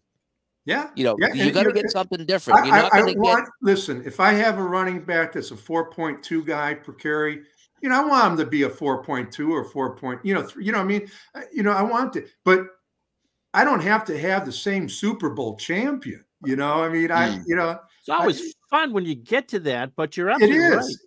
Right. I, I've, I've, I've hit it to where I've had the exact same Super Bowl matchup, and I've had it to where that's not even remotely close. And I, have never. it's it's all fun. You know, I've never had. But one thing, Dave, I want to say about Jeff, and what I think is his biggest uh, tribute to the game, is I've never seen anybody have as much access to so many people. I mean, pro ball players, you know, uh, all the interviews you've done, Jeff, over the years on your thing to where you're, I guess, because you're, you know, first class newspaper man, okay. But to be able to get all these, uh, you know, guys that you've interviewed over the years, I've always found that just incredible. I take my hat off to you. Thank you, sir. Uh, you know, I mean, I think the real thing that in this fifth APBA life to me, you know, we go to Canton again. George Bozeka of the Pro Football Researchers Association is going to give his opening talk again, and St. Patrick's going to be out there again talking matchup football. And uh, to me, it goes down to I, I was allowed to, I was asked to speak at uh, Play.com about the future tabletop sports gaming, which, as I noted right off the bat, anyone in that room could talk about that, and they had talked about it. But you know, reaching out to me, the next step is reaching out beyond the community you know, Pigskin Dispatch, Darren Hayes. Uh, he's got a site where he talks about gaming, and he had a Strat interview, and he had a Keith Avallone interview, and I thought we should talk APBA football, and he graciously allowed that. And he was fascinated by the fact, like, could you have like Mel Blount and and uh, Carnell Lake and Rod Woodson and and uh, you know Troy Polamalu in the same secondary? Yes, you can because you've got sure. all individual cards. Mm. Yeah. So here I'm going to talk a little bit about accuracy. This isn't because I haven't played the game, but it's not going to be about APBA football. Did um for six years ago, I did the 78 season in, in action PC football. And the thing with limited amount of games and stuff is that you can you can get a result that looks skewed, but really isn't. I'm going to talk about the 78 Kansas City Chiefs, who I think were four and 12 or three and 13, or they were terrible. You know, yes, this is a long story, and it's one of the reasons why we're doing this show, Gardner. So, you done? That's why I'm here. You done? Okay. They're four and twelve. So well, they were four. They were four and twelve, and as we're coming down the stretch, they were in the hunt for a wild card. Which, like, come on, you know, I'm not really familiar with you know the game and all that. How you know, not that I'm super you know finicky about accuracy, but seriously, this team's got you know Charles Emerson Winchester as their quarterback. Mike, mm. ever seen a picture of Mike Livingston? He had the the David Ogden Stiers hair, as in it mm. didn't really exist. you know, the poor the poor guy had been, you know, Lenny Dawson's backup for a thousand years, and he finally gets yeah. his chance and can't can't do squat, and he gets hurt. And so the Chiefs are contending. They're they're right there with the Raiders and the Broncos for that divisional title. Mm. And I start going, yeah, yeah start going through and was talking with our Red Sox fan, and he said, Ron, they lost six games by less than six points. Looking right. Yeah. And so when you go through and say, well, how could this game be accurate if they're contending? You lose six games in the 16 game season by less than six points. Mm. I got them to the playoffs. That was the, as I was telling Dave the other day, I had a walk off safety. Denver beat them on a walk-off safety. We're at the gun, and Action PC Football lists success by percentage, which you know it's, it's you know RNG under the hood. And the one play I ran because Kansas City couldn't throw. In fact, they ran a single wing that year. Um, yeah, yeah, they did. Yeah, they ran a single wing. Not that I remember that firsthand, but I remember reading about that. I had a 1% chance of breaking a pitch play for a touchdown and he got tackled in the end zone, which Gardner has never let me forget. But, you know, but when you look at that sort of thing for any football game, including, you know, well, how could this happen? Because it is so limited for, especially when it comes to wins and losses. Yeah. So, have you two ever had a team that overperformed or oh, underperformed? Oh, yeah, I have. I, have had uh, numerous times, and, and, it's not a it's not a knock on on the game. Right. Uh, you brought up a, a, a, key point: is the the point differentials of wins and losses. It's it's misleading. I'm like I said, I'm doing a 76 season now. It's just looking at you know the Raiders.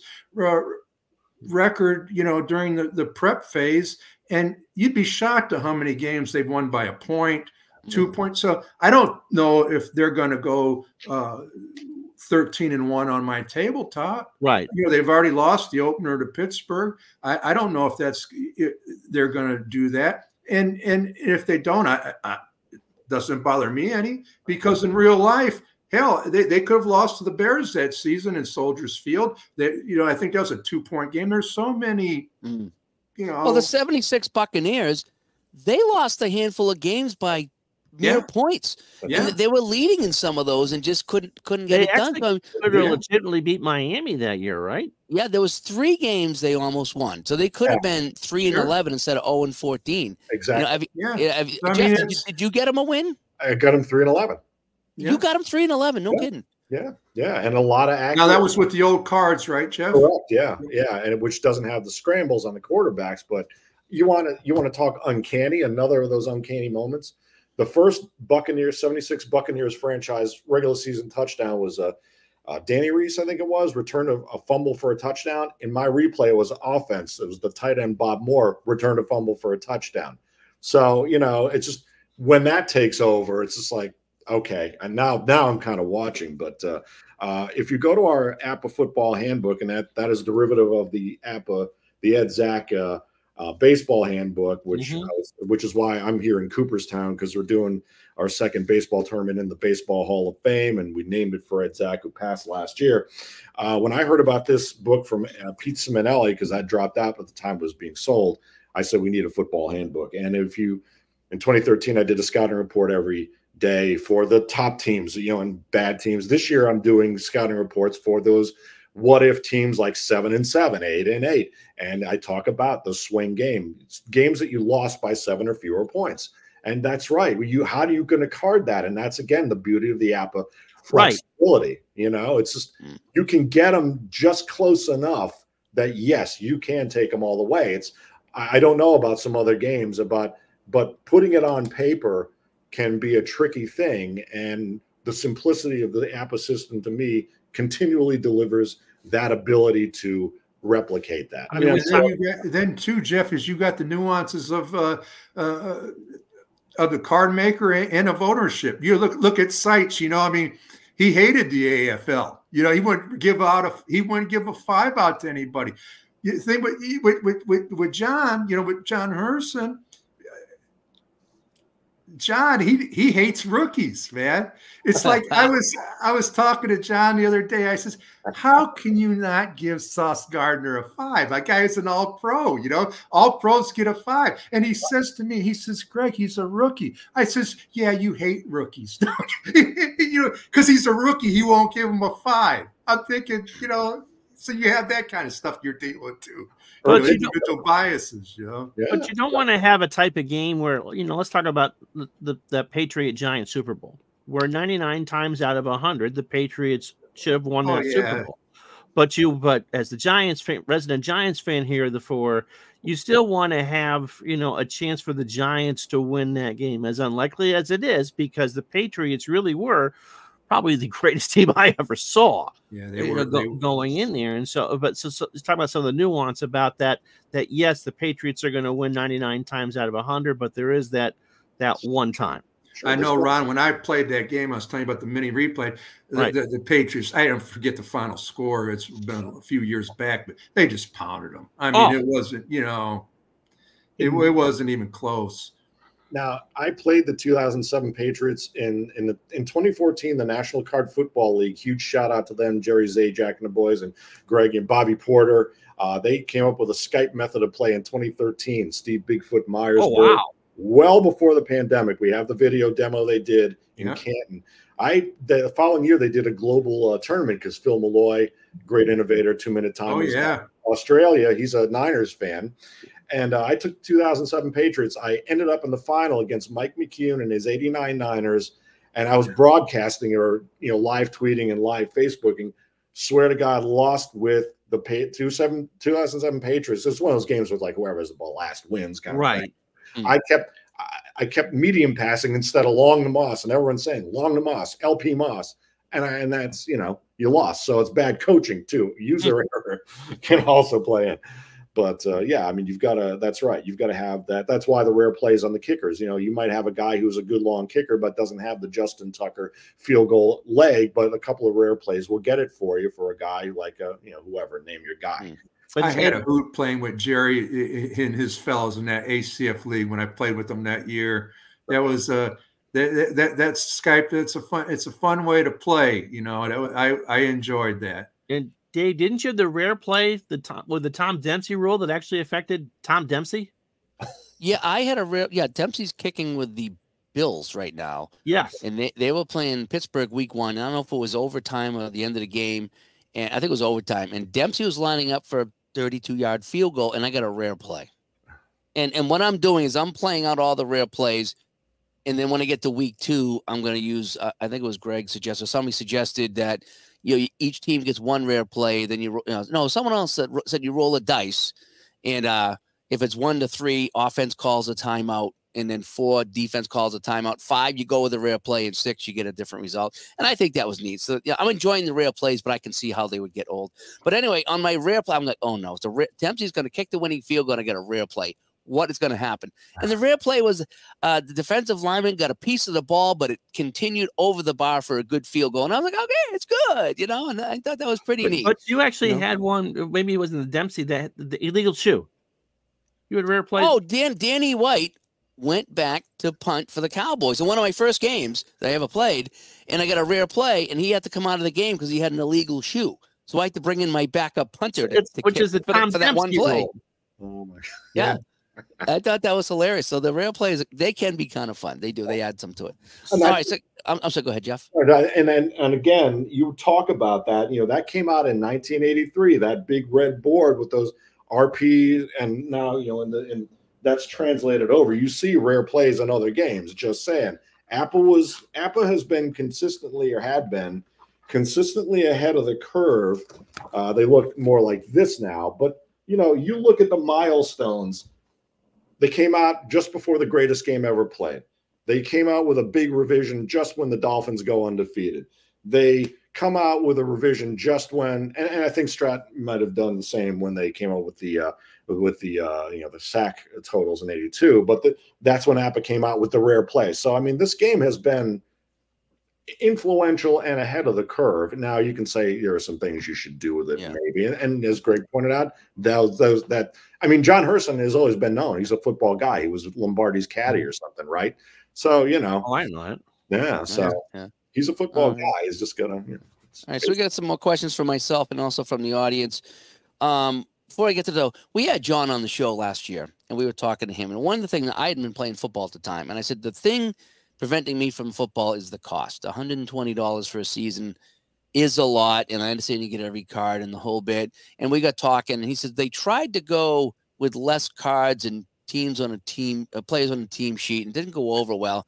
And I, I, I honestly had a hard time wrapping my head around this. Man, if I could get a season for 60 bucks and have the key players on cards and have everybody else on the sheet, I think that would be the way to go. And that's where I was at the time.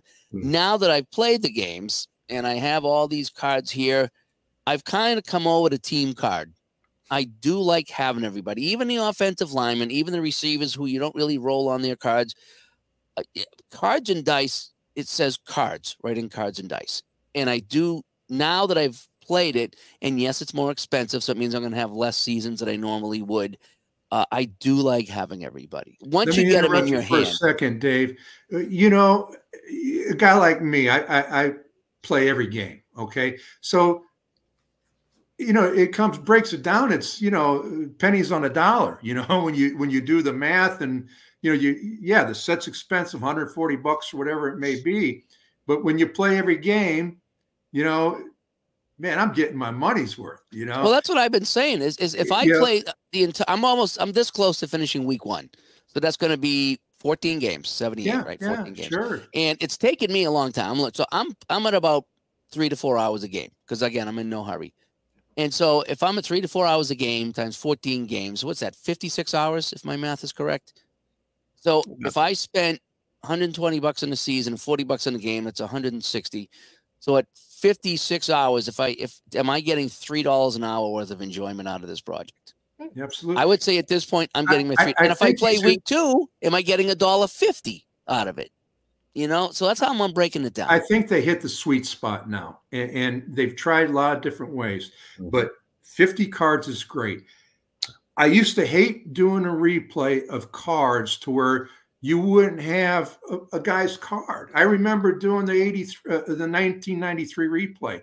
Mhm. Well, Cunning, Randall Cunningham started the first four games for the Eagles. Well, he didn't even have a card. That's right. Okay.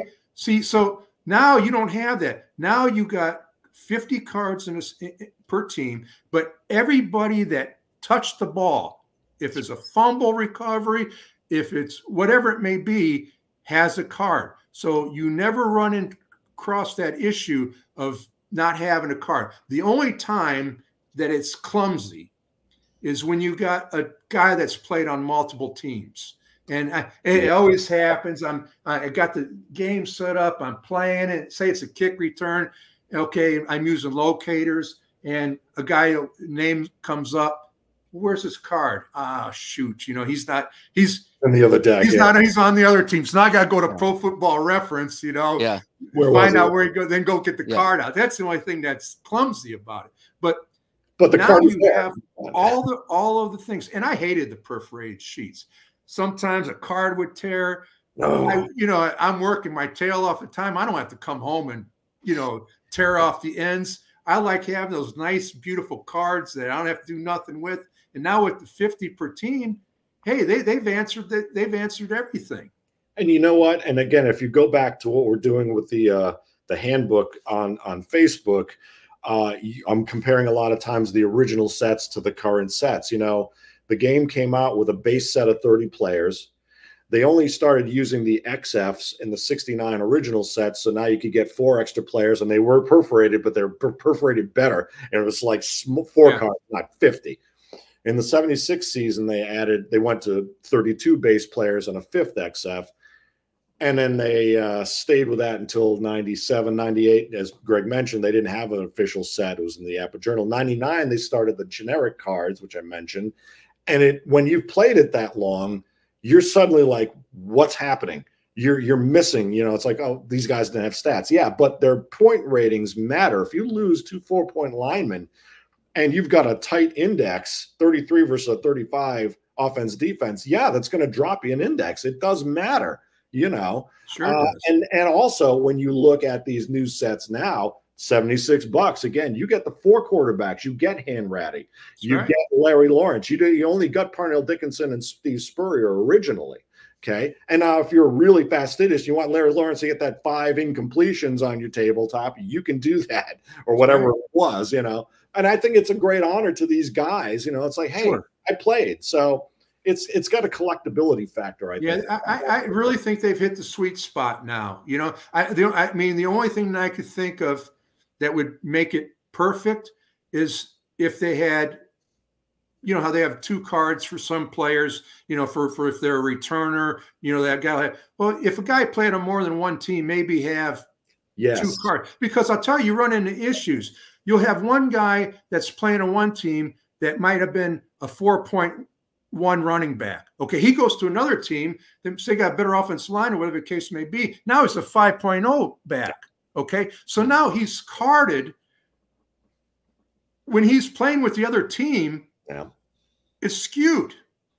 Do you Yeah. understand what I'm saying? Was Yeah. it? I think it was a Jack Rudnay or somebody on the Chiefs line or somebody uh, in the '60s. Uh, oh no, it was the guy. It was he was a Packer. Uh, I think he um, was the first player announced. Whoever the first player was announced in Super Bowl one. He went to the Chiefs or back and forth, but it really mattered because he went mid-season and came back. And exactly like your point, it's like you got to go find him, but also that that really had a trajectory to his career. Well, you know, I'll tell you, it does when it comes to the production off the card. Yeah. Because sometimes you'll the a player is carded for for one team, but when he goes to the other team, he might have performed way better or way worse. Right. And it's Oh, the card's not not realistic to Yeah. where How many So- seasons do they need to redo to be current with? uh Because 79, or 70 seasons. And, Was that uh, it? Four 70 seasons, a lot of the 80s, the 90s. Yeah, there's about There's there's a, there's quite there's quite a few to go. But Is that something that they're thinking about doing? Yeah, I mean, I know they'll get there eventually one day. Yeah. Okay. All right. Now here's a question from Jeff, and this is something that Ron and I talk about all the time. All right. The question is, and we'll pose this out here: uh, If you were asked to pitch APBA football to a newbie, how would you sell the game? And that falls on someone else who talked about the expense of the game. And I'm trying to find that comment there. So how would you guys pitch this game to a new person and, and factoring in that they're going to be paying $120 for a season? How would you guys? Well, Jeff, we'll start with you. How, if you're going to pitch that to somebody, how would you pitch that?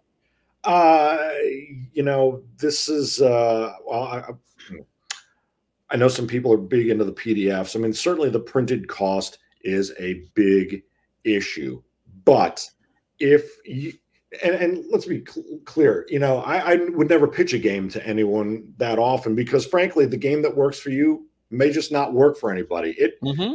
it matches my expectation of being able to put a full lineup on a table and be able to pull guys and have those points matter to have this third string uh, you know left tackle you know pick up a squib kick on a kickoff and have all these cards right there and be able to manipulate those in a draft league or do whatever kinds of projects I want to do you know, New York guys versus New Jersey guys, whatever. I don't know. Um, and and be able to manipulate the teams to an extraordinary level of precision without having, say, a team card, which I totally get. Team cards are great. Um, I just like having all the individual players, and the game is so infinitely malleable that you can make it sing, dance, do whatever you want to do with it because it's not so over codified to try to account for a really deeply realized vision which i i mean I, the, today's football designers are fantastic and people are attacking the same set of stats. That's always the question. Mm-hmm. I just think it's that flexibility in terms of it's it's a super simple game, it's a super accurate game, and you know the cost analysis you did, I think, is really the selling point too. Is that you're gonna you can come up with so many projects with this. I mean, you can with a lot of games, but when you've got individual cards, I want to do a thing where you just like put them in a card shuffler and create a lineup. You know, if you want to do something whacked out like that, you, know, you can do that. So I think it's it just really if you're a fan of that kind of flexibility, that's a huge selling point to me. Greg, how about you? How would you pitch this game? Well, you know, it, it,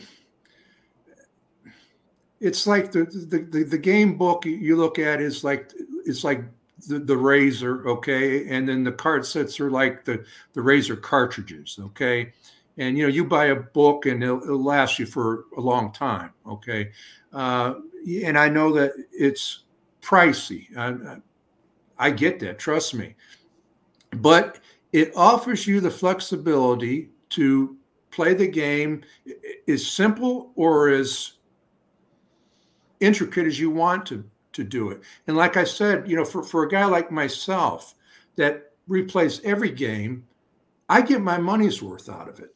Okay. I I but I, I'll tell you, I wouldn't buy it if I was only just playing a handful of games. I don't have money to throw around like that, you know. Uh, but it's if you want a game that resembles pro football, okay, and captures the essence of the game, captures the ebbs and flows. APBA football does that, okay. Mm. Um, you know, so hey, listen, it, it, it's still around. It's it's it's survived the Madden, you know, era. You know, it's it's still relevant, and uh, it, I, th- I actually think that it's growing. I mean, I I, I truly believe it. Uh, guys like you, Dave, have uh, done a big part of it with this the show that you have, and you you broadcasting all the games that you're doing, Oh, even though that you're new to the game. You know, and I think that's a beauty in itself. You know, you got a new guy out there putting stuff out. It, hey, if he could do it, I could do it, type thing. You know, I think this, I've had eight or ten people tell me they they picked up the football game in the last week since seeing me play on the channel. Yeah, see, here, you're an so- inspiration. Totally, totally. That's it. It's, it's it is to me. It's still it's the simplest game for the accuracy. That's that's maybe Yeah. a quicker elevator pitch because you're I and I understand there's narrative approaches that folks are doing, and there's a lot of cool stuff. And Sean Coleman's a guy who plays APBA League and second season league, you know, so he's a cross pollinator kind of guy. And you know, it just it's going to hit any game's going to hit you a certain way. You know, it, it's worth investing. Invest in the great teams of the past. One of the volumes there, or a couple of Super Bowl sets like you just did. Take a dive. It may just not work for you. Mm-hmm. You know, it, that that's there is no right game for everyone. You know. Yeah. For, no, like Curtis says, the uh, the cards, meticulously crafted cards and components, they bring it to life, and it feels like a real football game. I mean, for, you sometimes when you play it. For a casual football fan, I mean, we talked about indexes and this and that and the other thing. I know that it's not necessarily, you know, super deep as far as you don't need to know what a Tampa 2 is to to enjoy the game. You don't need to be, you know, no. watching Gruden camp to do hmm. that. Hmm for someone who might be on the fence, who is, let's say, a casual fan, you know, so, how how would you approach the game? And and, and I'll, I'll, let the three of you answer that. We'll start with our with the host. You know, for someone who isn't a super super football fan, what can APBA offer you that you may not that you might like? We'll start with Dave. Uh I like the APBA system. Okay, that's the big thing for me. Is I like APBA hockey and I like APBA baseball. I like the charts. A lot of people don't like charts. I happen to like the chart. I like the fact that I'm going to look at a card here, get a number, go to the chart, and I'm going to find out what happens. And in Ron, we talk about this all the time. I don't like making a ton of decisions in games, mm-hmm. and so for me, I'll pick the play and let it ride. You know, kind of sort of, and it just, it just feels like a football game. Every game I play, no matter how good, how bad. And sometimes like, man, it's six nothing at the half. This is a snoozer. And then I come back with a, you know, a, a Tom Dempsey block kick that hops over the bar to end the game. You know, Tampa Bay won their game against the Giants. They drove it down, and and uh, the guy hit a kick that I didn't expect. O'Donoghue hits a field goal. Who would have thought O'Donoghue would hit a field goal in '78? And he and they beat the Giants. So it's those moments there. In this game, the basic game anyway, just it just clicked right off the bat because I, I was used to the hockey and the baseball going to the charts. This game just worked for me right out of the gate. And and I I thought it would be a lot more difficult than it was. And I've seen people play and keying on players and this and that. And then you got your master rules. And and for me, I was like, never mind. I'm not spending 120 bucks in a season and be confused. And then it was APBA 66er. You know, we, we had him on the show a couple weeks ago. He was playing the game and he just had the phone sitting over his shoulder. And I'm like, this looks ridiculously easy. And here's this guy playing it, not struggling. Here's, here's a run. And I'm like, eh, I, I, I gotta be, I gotta try this. And I tried it and it was eh, just blown away at how easy and how fun it was. And at first, uh, you know, you saw the video. I was intimidated by the cards. I was setting up completely wrong. I was going through, okay, is this guy a starter? No. Right. Is this guy a starter? No. And I, I was like, man, I'm going to be all day. And I was getting frustrated. And then I said, okay, how about if I separate offense and defense? Then I can find my starters and my kickers. And now I know the symbols. And like I can set up a team now in five or 10 minutes. Whereas before, I struggled with that. So I got off you know, trying on the wrong way. But for me, what, you know, the game was never a problem. The setup for me was my drag in the sleigh. And I just went about it all the wrong way. But now I got that down the game right out of the box played fun for me. Uh, I'm liking the master charts because it gives me a couple sure. different columns and different results. I do like the, the, how with the first and the second quarter sure. a little bit different for me. You know, uh, the rare plays have added a lot to me, um, and I really, really do like when you get a fumble. There's all these different columns for fumbles, yep. and they're all in interceptions too, and they're all, as far as I can tell, they're all relative to where you are in the field. Exactly right. And exactly. it's like at the APBA baseball. It's like you get if it's first and second and you get a roll, that result is because it's first and second. Whereas if it's empty bases or bases loaded or man on second only, you're going to get a different result. So it those fumbles are fine tuned to where you are in the field. And it took me a couple of games to pick up on that because I'm just thinking they're just generic ratings. I'm like, you know something? The way this was worded, it knows I'm inside my 10 yard line. Exactly right. And and that so for me, just everything is covered. So it's not like generic fumbles and generic interceptions. It's really all tuned to where you are on the field. And it just feels like you're in a game and the game knows where you are and what's going on. And when it happens, it's just completely believable. It really is. And so for me, I'm getting a, a fantastic football experience. Not that I haven't from other games. So let, let me just clarify that. I, I have played uh, plenty of the football games that I've enjoyed immensely. Okay. And I'm adding this to that group of games that I enjoy immensely. So I like the APBA charts. I like I do like having all the cards, and um, just how the, I I'm going to go out on a limb. I think this is APBA's best game. I have the golf, I have the hockey, I have the baseball. Now I have the football. I think the football is their best game. That's the right answer. Yeah. So for me, Ron, that's kind of what I would say. All right. Well, you know, like they say, you get the game up and running in five minutes. I remember watching my friend Jeff there. He did a video on it. You know, I think he he had a timer, if I remember correctly. You were trying to see if you could get it, read it to, to start a game as a newbie in five minutes. And What? you know, listen, you it's simple. Oh, game can to I add one thing? The APBA football community has just kind of embraced me. Oh, it's so quickly. community. You uh, know what I mean? APBA, And- the and- APBA community in general, just a great Yeah. community. And let, let me say, there's a lot of communities out there. You know, the play community, the strat community, you know, payoff pitch community, and there's a, they're all really good. Okay, this one though, people just reached out to me. You know, and I reached out to Jeff. He's like, "What can I get you?" Okay, I'm Jeff. I got an old season. How, how do I play that? Here's a couple suggestions how to play old seasons. You know, and then you know, Greg reached out to me, and, and you were giving me suggestions on things like that. And you know, on Delphi, we were going back and forth on a few things. And and someone reached out to me too. and was like, "Hey, I got a couple seasons. Would you like to trade with me?" you know, because I, I'm just not using them. And, and, you know, you're into the game. So we traded some seasons. And that's how I got, you know, 1984. I got 1984. I'm so excited, you know? And then someone reached out to me and he goes, um, Hey, Dave, I ordered two 1963 seasons by mistake. Would you like one? And he sent me 1963. And I'm like, this is unbelievable. And then another guy reaches out on Facebook. He goes, Would you like to borrow my 1979 season to play the Buccaneers? And he goes, It's an older season, and I'll send you the chart so you can play it. But he goes, I trust you that you'll take care of it and send it back to me. And so I have I've been playing 1979 off to the side. It's been amazing. People just like come out of everywhere and they're like, so nice.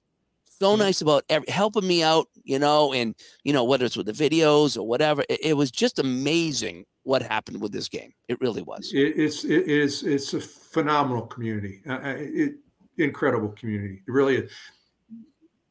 So many times I've I, I I- I could sit here and tell stories after story after story of of of kindness that has been bestowed on me from fellow APBA football and just APBA people in general. Uh, I always think of Johnny Cochran, you know, the great Hall of Famer, and Jeff shakes his head. He, he good friend of Jeff's. Uh, he always says, "App is like a family," and you you go to your first convention, they'll make you feel right at home, man. I, I tell you, if you need to make that trek down to Alpharetta uh, for a convention, it's just a it's just a really good time to be sitting in the room. It, it's kind of slick when they do the baseball tournament and it kicks off and you hear all the dice go at once. You know, Oh yeah, what, what do you got, that. Jeff? You know, 200 guys or whatever. You everybody That's gets, crazy, man. it's, it's just it's cool, you know. What, did- what did Greg Wells say about football? He said it may not be the most popular game, but it's the loudest. Well, you know, eh, to me, you know, in APBA, you know, baseball is king, and I and and I'll be the first to acknowledge that. But when it comes to face to face, that Yeah. and I'm talking any game in the world, Yep. nothing can compare with APBA football. Not for the face to face Yep. experience. Yeah, this game takes me, like I said, I'm between 45 minutes and an hour for a quarter to play. And that was And yeah, and uh and you know something, it, it doesn't bother me in the least. You know, if someone said, Oh, it's gonna take you three to four hours to play this game, I whoa, but I'm playing this now, and it's three or four hours of just you know, it's kind of like, you know, Lord of the Rings is a three hour movie. And it's like it wasn't long enough. You know, I, I want more. And that's kind of how I look at it, you it's know. that, and I play a game in like 90. 75 minutes. You know, I, you know, it, they, you know, it, it, it all varies. You know, you get I- the I- more you do I- it, the better you get. You know, I used the, the helper. I was showing you the pro football helper, and I played a game the other night offline myself, and I got a quarter in in 31 minutes playing with the helper. So I was like, okay, that's that's the way I'm gonna go. So I'll do that. You know, um, as as oh, um, why don't you guys finish answering Ron's question, and we'll get to my next point. go ahead, Jeff. I, the key to me is um, I lost my train of thought now. Uh, remember when it came out? Is that it's you know we talked about how it's like you watch a game. This came out at a time when the NFL was just about to really explode. I gotta go let my dog out. oh yeah, sure, sure, sure. That's good. Be a good doggy daddy. Yeah. Uh, the uh, the uh, it it plays the way I think you talked about the casual fan. Right. That the, I'm not, I'm not worried about. Geez, Joe Greene is stunting around to the center, to the A gap, or whatever. I, I don't, you know, I'm a casual fan. I want to run the ball. I want to pass the ball. Right. I maybe want to send my receiver. I want to send uh, Drew Pearson around end one time, you know, and I want right. I want the thing I see on TV. I'm not watching the line play. I'm sorry, that's sacrilegious. Yeah, no, no, you're not the only one. But you know, when you see when you see a price tag of of what they charge, you know, it kind of goes, well, what does this game do? You know, and, and I think the point that that you made and that Dave made is no, it really is call your run play, call your pass play, refer to the index, run the play, move on to the next play. And so you're getting a lot for what you're paying for, and you don't need to be have a PhD in football. That's right. In order to in order to enjoy it, I think oh. that that was the point I was trying to to get you guys to talk about was that it's not this that the learning curve is not steep, and you don't need to be Oh, Again, oh no, not at all. You, you, know, you don't need an Ivy League education in football right. to to enjoy the game. And uh, you know, I'll ask that question to Greg, who's probably played fifteen thousand games, right? No, you know, so I don't know. I played a lot of games. I don't know the number. I wish I did know the number. It's, uh, it's quite a few. How many seasons have you redone?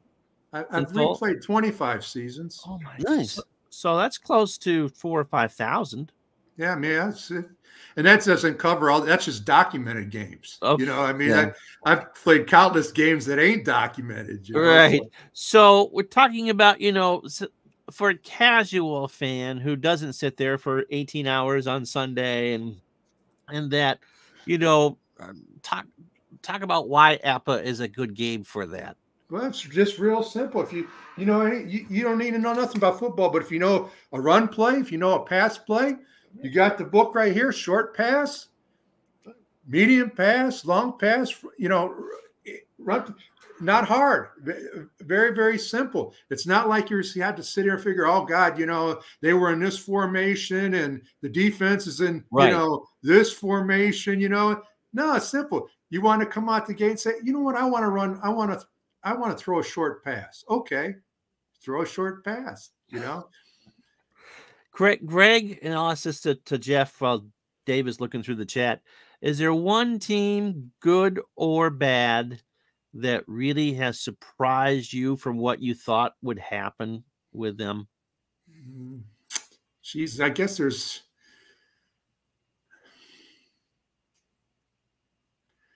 Well, it goes back, Ron, to the conversation we had about point differentials. Right. And this goes hand in hand with that. And I don't want to try to give you a bad answer, but there's there's a lot of times to where I always said how I grade a set is I go with the plus two minus two. You know, if I want right. their record to be, I want it to be within plus or minus two of their actual record. Okay. Yeah, right. Okay. To me, that's an acceptable level. There's sometimes I've had it to where it's four or five games. You know, I think on some occasions I've had it worse yep. than that. Mm-hmm. It, you're playing a dice game, you know, it, right. and and football's a limited season anyway, you know. So it's yep. like, you know, you have those things against you to where you're going to have some wonky stuff happen, you know. Uh, I did. Greg Wells has always wanted me to do like a, a, what if type replay. All right. Right. And I'm not wired that way. But so I said, well, the only way I could do a what if is I'll take the 82 season, the strike shortened season. Oh, make it a full season. Okay. And I play the whole season. Okay you know and i had one of those i don't know if you remember ron you you go to the gas station they give you the the schedule and that little oh yeah card that you oh, can yeah. put your wallet you know well i had one from the 82 season i right? don't need to put gas in the car ron yes so i would i use that and i replayed the whole season and it was wonderful you know so uh and, but it, with that replay the Saints won my Super Bowl. I mean, they were, you know, wow. You, know, you have weird, weird stuff happens, you know. That really that's great. study. That one. That, that Uh, That's it- great. Is Yeah. that up on BTL? Yeah, it's on BTL. It's on my. You can go to my website, Ogard. I will- I will And on my left hand side, I have Ogard 62. Yeah, I'm gonna have to check and, that out. And they have, I have everything you want to see. All you could go is there. You click on it, and then you could click on the individual team. It's all hyperlinks, so you can see I- their I- stats. I for- would you know, I have never have- everything I- posted. Would never have guessed it would have been the 82 Saints. Well, yeah, it's No, you got crazy stuff happen, you know. And uh hey, listen, that's what it makes it fun, you know. Okay, Yeah. Jeff, top Yeah. that. Yeah, yeah, yeah. Uh, ooh, I don't know. There's a. I, I go back to the 73 and 74 Vikings, but um, I, I guess I'm surprised that they just, even the way they're carded. I mean, they've got the talent, but they just, even in that, that that that that format, they just couldn't. There's something that comes over. It's like you feel them seize up or something. They just Okay. The dice know. overwhelming. I It's know, yeah. The dice know, man. They- I mean, they should have obliterated. They could easily obliterated the 74 Steelers, but for that defense. I mean, that even with Zarb said he sent me, you sent me the 74 Steelers of his to Mhm. try. Either way, it's it's like on paper they're hard to move, you know. But uh, but um, yeah, it's just those Vikings teams really become a, an issue sometimes. You know what I always love is I have certain teams I always say that hate my tabletop. Yeah. And I have some teams or players that love my tabletop. Okay. Like, and thank God, you know, I'm my idol, and still this day is Joe Namath. Okay. So Namath, he loves my tabletop. And now he's a That's good. he's a 50% passer, right? At the Yeah. best times, that's what they were the era. But people don't put enough credence in the timeliness of a roll. Yeah. Okay. You could have you roll that 66 or you roll whatever the, the, the snake eyes or but it seems for me the great players get their fortuitous roll on the third and long on that critical Oh, crunch time thing. Yes. And that's what really separates. And for me, that's what makes it so fun is Third and 22 for Yeah, Stabler the just other night. the, the 25 yard pass. Of, of, of the timing. That's- You know, it, it doesn't get enough airtime. And that's what's so beautiful about this game is, you know, you'll, you'll, you'll hit it. You'll have a, a some guys will just hit that roll at the right Yeah. time. Yeah, that's what makes it fun. that's what happened in Canton. We had uh, the final was uh, oh no, it was actually the semifinal, I think. Uh, 2017 Eagles against 2019 Chiefs. It was uh, Chuck Steinmetz, the Eagles against uh, Dave Weatherby, the Chiefs, and Mahomes. Man, I mean, he just lit the place up at exactly that right time. It's Yeah. like no mods, no nothing. It's just now it's going to happen. He turns out Dice know. it was ridiculous. Yeah. Hey, when we talk about length of the game, I don't know if you guys read the latest uh, Sports Sim magazine that's from ST Patrick, but he had a good opening monologue. Yes, he did. Okay, and I'm not going to read the whole thing, but it, let me give you some of the highlights. Um, the, the the question I get asked a lot is, how long does it take the game to play? And he goes, well, I have a question for you. You know, are you going to play the most basic version, the advanced version, or super advanced? Are you using dikes, facts, or a combination? How informed are you about the game? How long have you played the game? Are you skipping rules or doing it your way? You know, are you playing alone or with someone else? Will you be interrupted by the wife or the cat? Are you playing straight through? Are you taking breaks? And boy, if that, I mean, he hit it on the head, hit it out of the park. You know, how long does it take? Well, are you a fast player or a slow player? Do you know the game inside and out, or are you just learning? So when people are like, oh, it's taking you an hour to play a quarter of APBA football, it's like, well, yeah, I'm kind of just learning, Yeah. and I'm taking my time picking plays, and I'm writing down every single play.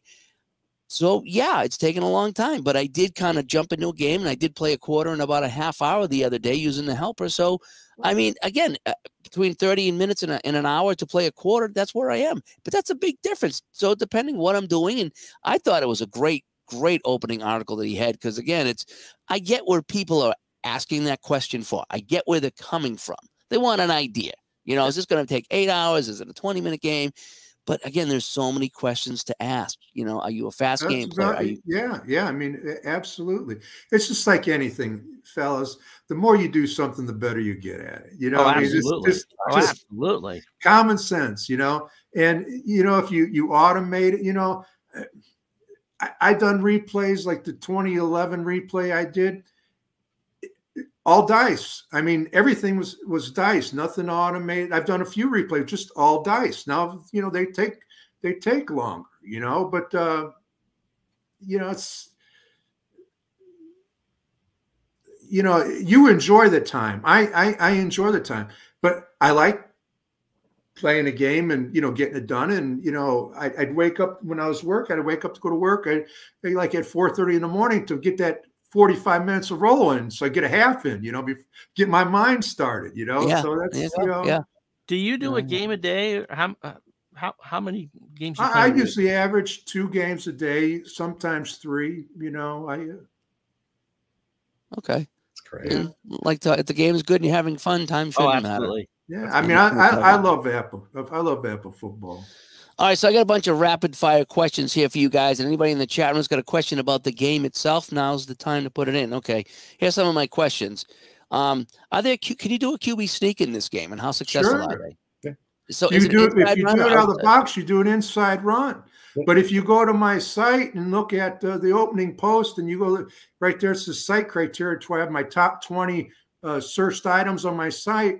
Uh, Mark created a, Q- a quarterback sneak uh, chart that you could download for free right off my site. So Oh, either nice. you either you run an inside play with the quarterback's card if you're just using the the boards, or if you want an actual quarterback sneak, you could go to my site, ogard62.net, Yeah. opening post, site criteria, find the QB card and download it. just Oh, fantastic. manning Phil Malloy's got one too, does he not? He does, and that's also on my site. Yeah. Nice. Now, what about the squib kick? Someone I sent me got one of those on my site too. I looked at the squib kick. table. But oh, it's a because I, I went there and I it just said I'm I'm squib kicking, and that's all it said, and I couldn't find anything else beyond that. So I didn't know if that was a joke or No, that you was could find. Uh, look at the top, like I said, the opening post, the site criteria. Uh, there's a squib uh, kick table in there. Okay. Um, it, on, on a kickoff, a guy returns it, I don't know, 25 yards, and then as a holding and brings it back 10 yards. How, how do you score that? Is, is that a 25 yard return and a hold or, or a 15 Well, usually, yard? usually there's a, a, a asterisk there to where it, it curtails the returner to a 15 yard return, and then you're then you're doing assessing the 10 yard penalty from there. And a lot of times now you're you're you're you're doing it to where you can't even go the full 10 yards because you know you're inside the 20. You know, to where yeah. you got to go half the distance, then even uh, land on an even. I mean, on an odd uh, ha- a hash mark. You know. Okay. I had a play, I threw for a first down, and then there was a penalty, and it was unsportsmanlike on the offense. Right. What do I do with that? So, I, so is well, it, it's going to be a down- first. Let's say the, the it was a 12 yard pass play. Okay, Let, us make it easy. The ball's at the 20, 12 yard pass play to the receiver. So you, as the scorekeeper, you're going to log it as a 12 yard completion. Give it to the receiver. You're going to annotate a first down. Okay, because it's a first down. But unsportsmanlike conduct's a dead ball foul, meaning it happened after the whistle. It's a dead, not during the act of play. So the first down counts, but now you're going to assess that 15 yard penalty back. So you're going to move it now to the 15 yard line, and the offense is going to have first and 10 from the 15 yard line. Okay. So, uh, Did, you, you understand what I'm saying? well, but, so the first down's at the 32. All right, let's let uh, uh, I bring it? So, I, so bring it back to the 17. 17. Sorry, Okay, 17. okay, my, my, yeah. my, my, my Yeah. math was, my, Yeah. you know, And it, it would be it would be first and 10, not first and 25, right? It'd be first. It'd be first and ten because you were awarded the first down, right? But so now it's a dead ball foul. You just move it back, and it's first down and ten at the what seventeen yard line.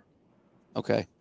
Uh, when I get a result of pass 24 th, which is obviously a, a a flag on a play, does that mean that it's it's completed for 24 yards, and then I look to see Yeah. what, what the, okay, Yeah. okay, I wasn't sure about that. On a punt, I was reading about rushing the punter. Okay. okay um, and how some of the numbers may change what is the downside to try to rush a punt i know the upside is getting it blocked Well, I guess the only downside you could say is you got to have an automatic fair catch on the back end of it. You can't have a return. Okay. So if you're saying if you're using section two of the master game rules and you want to max do a max punt rush, okay, they'll tell you, all right, certain numbers, you need to decrease the punt by five yards, and the returner cannot return it, but you have to roll to make sure that he didn't muff or fumble uh, Okay. the punt. You know that Okay. he fielded it, Okay. caught it correctly. Now, to clarify, on a punt, the receiving team is the defense, correct? On a punt. So if there's a fumble, I'm reading it anytime during the punt, offense is still the kicking team and defense is the receiving team. Well, is that what I understand? this is one thing I don't like about these new cards, and and, and Jeff could could attest to it. Where the old cards, when you had the offensive and defensive lines, they would have on the offense, okay, you know, uh, you know, the, the defensive team is kicking it. You know, he- he's the punter. Okay, so it would your your PA would be on the defensive line. Now they just throw the the coatings on the cards with no consideration for if it's an offensive or defensive um, thing. Right. But what I'm saying is, is on a punt that if it says if there's a fumble and it's D, D you know whatever it is, 10D, whatever it is, uh, defense would be the team with the ball on the punt, correct? Yeah, it doesn't. It doesn't. Yeah, the, it's it's different than a penalty where when the So a penalty. penalty though, Yeah, the, the team. Just team that- remember, the at receiving the start team- of the play, the platoons at the start of the play, all right, the team that's on offense and the team that's on defense, okay, is on on fumbles, they stay static. Okay. Okay. The platoons, it's the platoon at the beginning of the play. On penalties, it's the team that's in possession of the ball. So if you have That's a the change offense. of possession, okay, then the defense becomes the offense if it's an interception. Okay okay, uh, on a fumble, it's how it started the play. And I, I got to be. I'm curious because you know these are these are NFL rules. I mean, so have you found in your experience that other games explain the penalties better? I I found that there's a couple of games that I played that said, uh, you know, on a punt. The team punting is offense throughout the play, and the team receiving is defense throughout the play. So any penalties or fumbles that are, happen to the offense are the punt, and so it's kind of it's consistent. They're Whereas in this case, yeah, penalties on the offense are on the receiving teams, but fumbles recovered by the offense are on the kicking team. So it's kind of uh, Penalties or- are or- quite quirky in a lot of games. Yeah, So- so that- that's just weird. Just remember that rule of thumb, though. You just that, that's the it's the key to remember that when it comes to fumbles, it's the platoon that started at the, start. play. Okay, okay, Penalties, it doesn't care if the ball changes hands 10 times during that crazy play. It's whoever's in possession of the ball is, Is the, the is offense. considered the offense at that time. Okay. I got it. What what do we do about special teams? I mean, so if it, if it happens to be kicked to the up back and it's picked up by D six or D seven or, or 06 or whatever, how do I do that without Well, having to years set up a years whole? ago, uh, and you could find it. I, I apologize to keep saying it on my site, but I got so much stuff on there. It's you know, it's been around for a long time.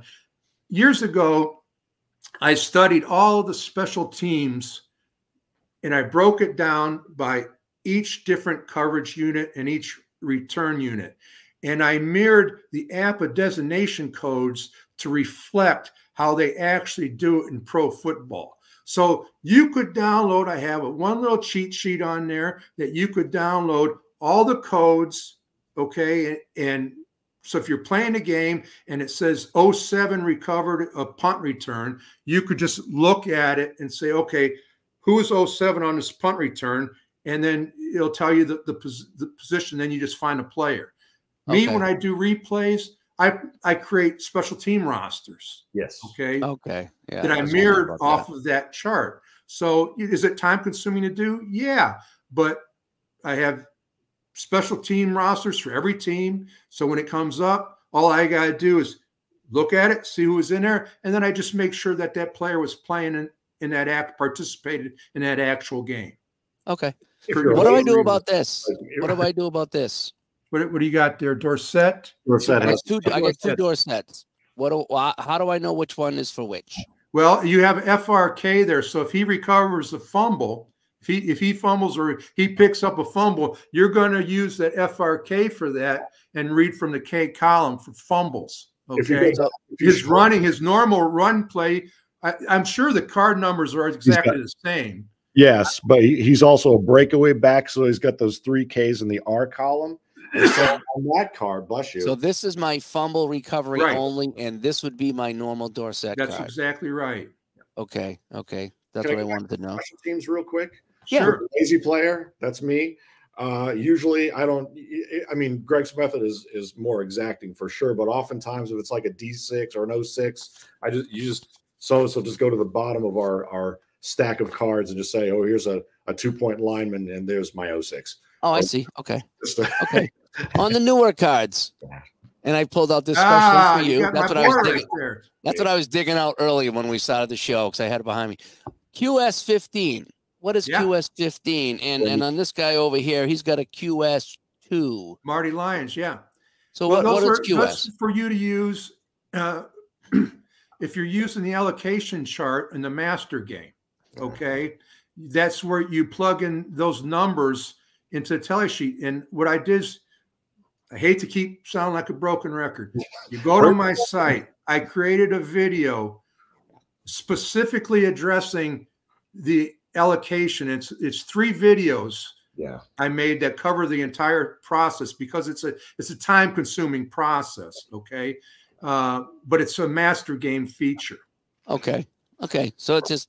But you could you could you go there, watch the video. It's so easy to learn. You know, for me, I'm a visual guy. It's a lot, lot easier. Nice. So that's finding out maybe who sacked so the quarterback. Allocating the sacks. So basically, okay. so what what that is is just the QS 15 means he probably led the team in sacks. That what they do is they make you add up. Everyone has a sack, a QS code. You add those up, and you come up with a range, and then you start rolling against that range. So Gastineau takes up like 15 pieces of that range, whereas Lyons takes up a small piece. Oh, I see. And, okay. And then, it's it's really time. I don't like using. I won't. I don't use that no more because you you if you're adhering to the letter of the law the player has to be in the game right. to get it. So you could be looking for a sack or an interception or, or an individual that hmm. caught a reception, and you might have to roll 10 times before you you found somebody that was actually in the game. That's so I don't do that. No. This that's why this old allocator was ideal because that never happened for the receivers and the any for interceptions. If they'd kept this kind of style and used it for for quarterback sacks. That would never happen because you read across sooner or later and you're going to find the guy's code here. Whereas that allocator system that came out in 83, yeah. Okay. Now, this guy here. Um, that smell. if I can get that to, to focus in on me here. Um, He's got a V five four. What yeah, is that? and, and what, what I great pass linebacker. He was. I tell you, in Jet history, Lance Mehl, without question, is the best weak side linebacker they ever had, and he was he he was great at picking off passes. So he's rated correctly there. He's a he's a five in the pass defense and four against the run. So that's what V is. So it's pass and run. And now, now, how run. does that? How how how would I use that number in my game? Well, if you look at your score sheet, you tally up all your eleven players on defense, and you look at their V ratings and just write them down. You know, like Lance Mehl five four. You know, Mark Gastineau. I don't. You have his card. He's probably straight fives. I I, I don't know what he was. There was nothing there actually. Okay, he's a five, so yes, he's, he doesn't have a split rating. So for guys that have just one thing. And if you're using the split ratings, you would just duplicate it. You'd write a five and a five. Okay. And guys like Lance Mehl that actually have a split rating, then you would do a five and a four. And you would tally it up for the for your 11 people. Oh, okay. So so I would have a defensive pass rating and then a run pass rating. Yes. Yeah. Oh, okay. Yes. Okay.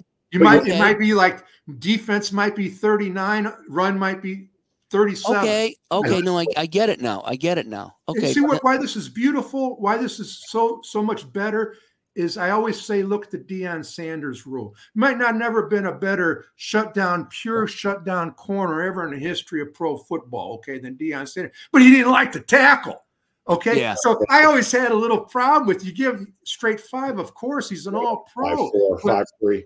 Now, if I you see, now with the split rating, I guarantee you, he don't have no five when it comes to the the, No. the Run game. Yeah. run I game. see. Okay. But, that, but, So- but you have a choice. You have a choice. Okay. You can use if you have a guy with a V rating, he's got a flat rating, so you can either use the straight rating or the Yeah. V ratings. And, Okay. and they s- with the older sets, you only get the de- defense with the V rating. And With the more current sets, you have them on the offense as well. So I yeah, think that- it was what 06, Jeff, that they started with the offense. oh two or oh two Was it oh thousand. 02? Yeah, it was, I know it was the early 2000s. So yeah, it's but they've tapered off too. On this one here, Klecko, I got a FR zero. Does that mean that he Oh, can't? what- re- What that means is now, now this is critical. This is critical. F, that means that it's a quick reference. If Joe Klecko recovered it, in your mind's eye, he picked up the ball and he was tackled immediately. Or he fell Okay. If you go to Pro Football Reference and you looked at fumble recoveries, if the player did not have a fumble recovery, he's not going to have FR number. That's why when Denny did these 76 cards that I'm using right now, that didn't exist yet. And I had a call with him and John. I said, you know, Mark's cards, you have a quick reference of if the guy actually recovered a fumble or not. And from there, they came out with those ratings. And I love that FRO because that's quick reference. Oh, yeah, he recovered it. He didn't return it for any yards. If Or he does not have a re- FR on it, in your mind's eye, he just fell on the ball. And you go to Pro Football Reference, it'll show that he never returned a fumble. and I think there's some W zeros they've done on occasion. Yeah, too. it There's- means it's a intercepted, Okay. no return. That's it. So they if there's no give him a FR rating- kick. If there's no FR, can I assume that he's going to try to return it? no. If, if, if You- you listen, let me give you let me give you a, a, a, a two answers. Yeah.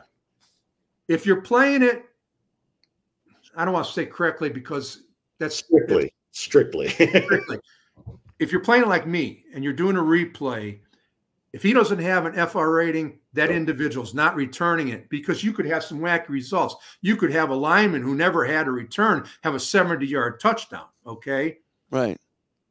If I don't want that. Okay. So if he doesn't have an FR rating, that individual fell on the ball and he ain't advancing it. So if you what, want what, to return it, hey, it's your game. what would be the difference though between no FR rating and FR zero? Well, Isn't that the same? if it doesn't have If- a, if, if you look a if you look at if you look at the fumble return number, okay, let me come to it. And uh, you Because have, if he can't return the fumble, then ne- neither can return the fumble. well, no, correct? hold on. Let, let me. It's fumble return and block punt return. I mean, and block block kick return. Okay, so you could have a guy that has a fumble FRO number. Okay, that means okay, yeah, he recovered a fumble, but he didn't return. So you would stop there. But if he blocked, the, if there was a block kick and he recovered it, you would roll and you would look at that card's R number and you would go to the same column for the results. That's why it's so critical that FR rating. Because Okay. it indicates that he can't return a fumble. So you're not going to have those crazy whacked out Right. 75 yard fumble recovery by I, I, I being a diehard Jet fan, I did an 86 replay with them years ago. And Kenny O'Brien ain't fleet footed. Okay. No. They used to call him Slowby. Okay. All right. And they say Kenny would take a sack because he didn't want to have anything interfere with his completion percentage. Okay. He was one of the highest sack quarterbacks in, in the in the game. I was playing a game to where Kenny O'Brien recovered the fumble and re- ran it, advanced to first, 73 yard touchdown. Yeah. Okay. Hey, it was within the framework of the rules, so it, it, it, it counts. But is that actual? You know, APBA is supposed to be, you know, reflect real Yeah. football. Okay. Okay, so- Not so- crazy stuff. So so FR zero Means- n- no It means he recovered the football and he didn't advance Right, it at all. And you just move on. If he Okay. does not have an FR rating, that person can, if you're doing it, if you want statistical accuracy, treat Just it. He just fell on the ball. Okay. Okay. Fair enough. Okay. Um.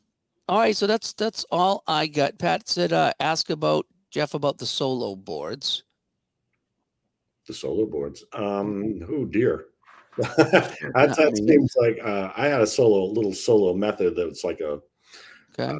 I don't have a solo board, do I? I wonder. Man, I might be totally forgetful. I did want to make a point, a couple of things though. Special teams, uh, in the old days, they actually made you calculate the A, B, or C index to make that matter more up until Okay. the last revision, just so. Okay. Do you guys play with weather at all? Any any weather? No. No, because everything everything that transpired during the course of the season, weather conditions, It's all baked uh, in. injuries, whatever, it's all factored in, baked, already baked into the cards.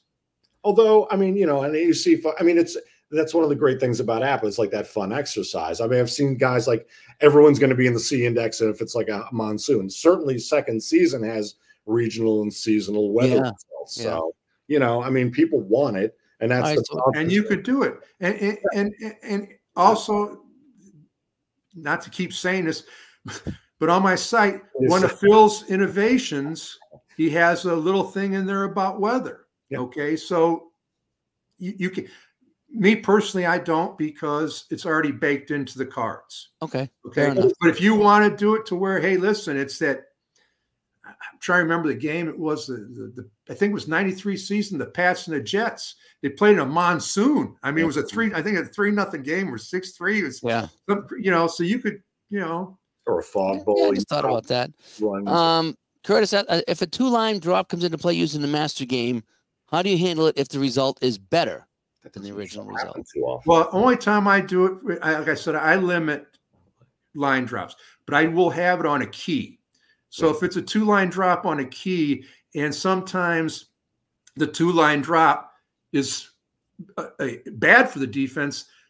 My my house rule is if it's a key, I always give the defense the benefit of the doubt to get the better result because they keyed correctly. They shouldn't be punished. Okay. I kind of play it opposite though. I figure like, oh well, they keyed, but this guy still kind of read it and kind of.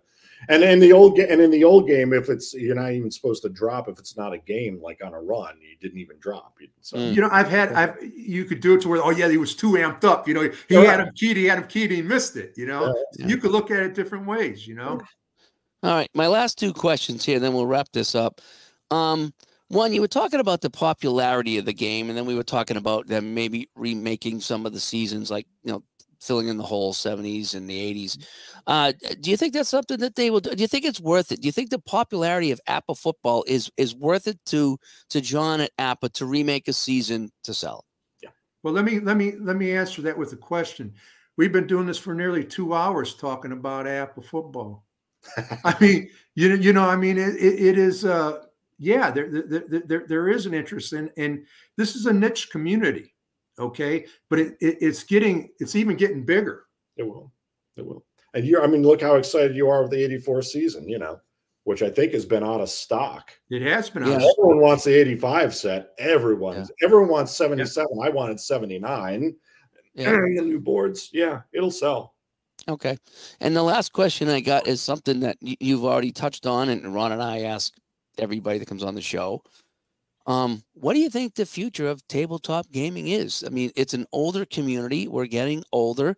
Um, you know, video games have captured the young kids, for, and they're they're all you know now now they're playing on their phones and the whole bit. What do you think the future of, of cards and dice is? And I'll start with you, uh, well, Jeff. We'll start with you. Absolutely wonderful. Um, I've said this a lot, and I said this in a couple videos in my talk at Play.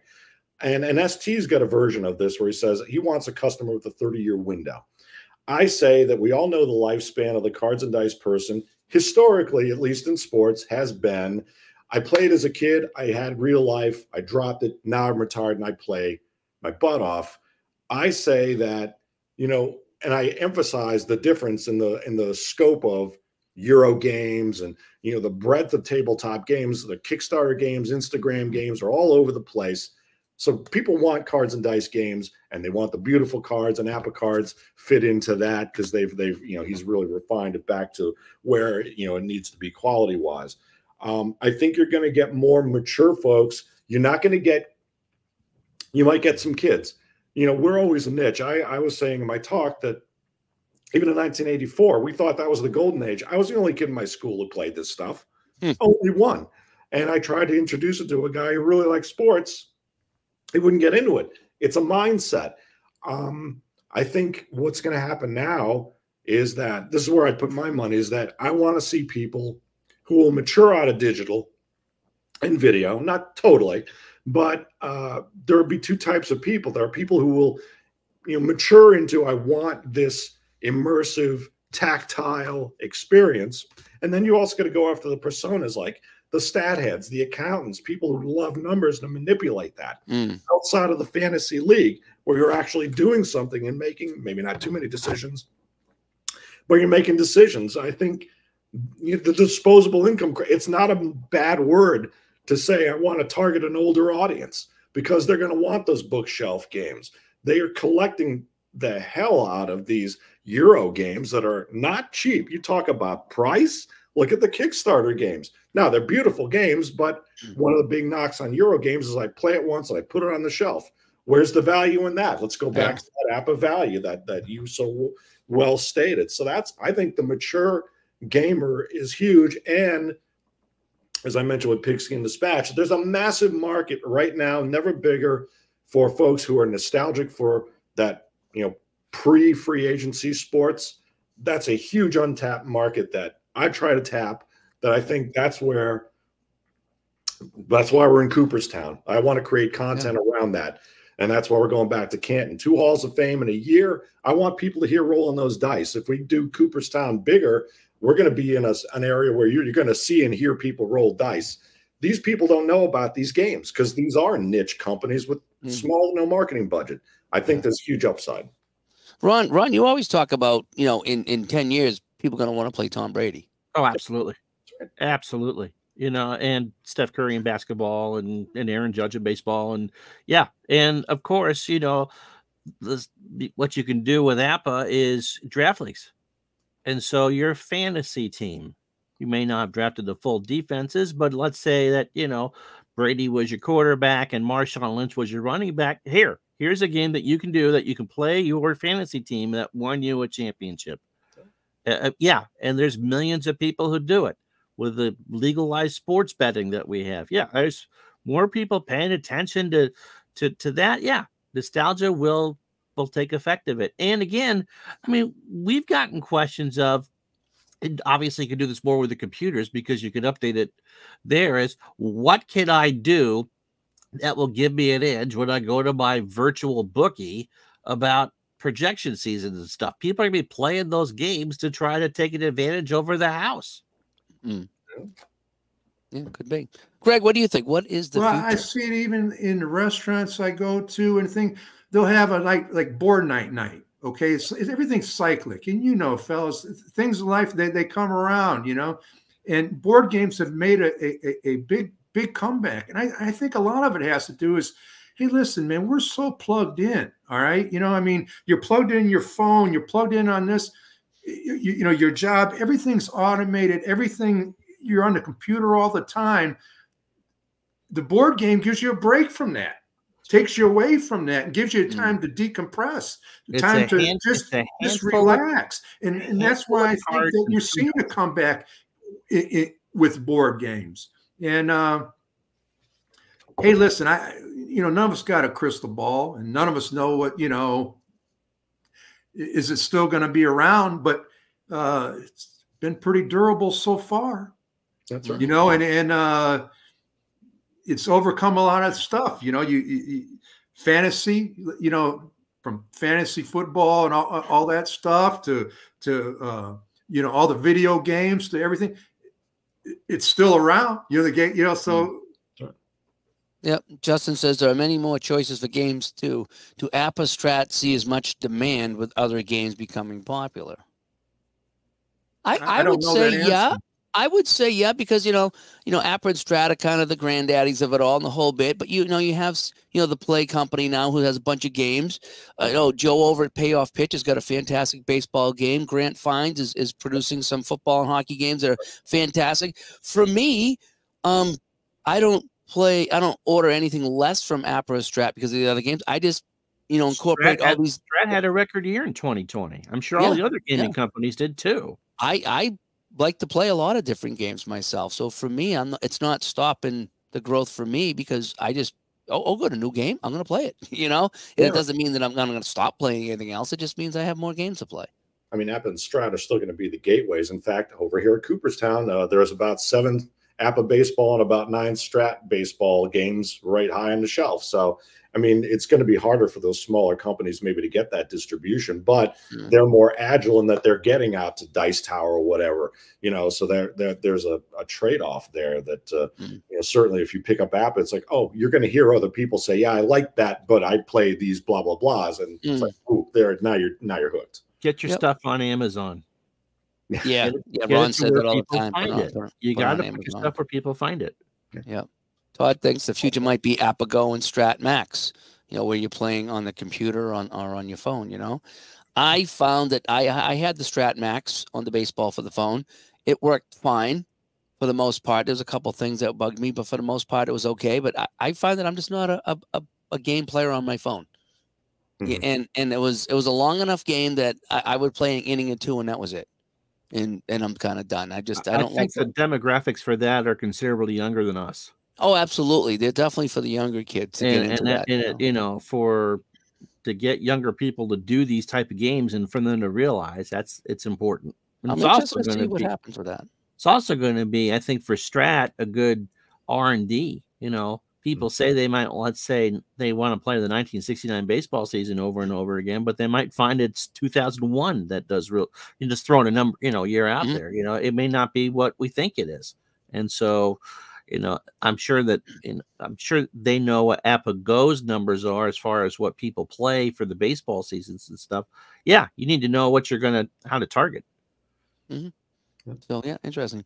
All right. Well, we want to thank Jeff and Greg for coming on and talking Absolutely. about Hey, it's been fun. us.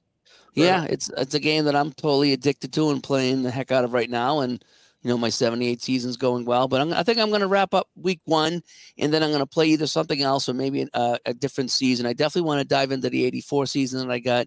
I still got my 76 bucks over there that I that I want to play, and my 79 season, Go, which I'm go download that special teams cheat sheet, you know, so you could have it for your, you know, yeah, I will. eliminate I'm that gonna- issue, you know.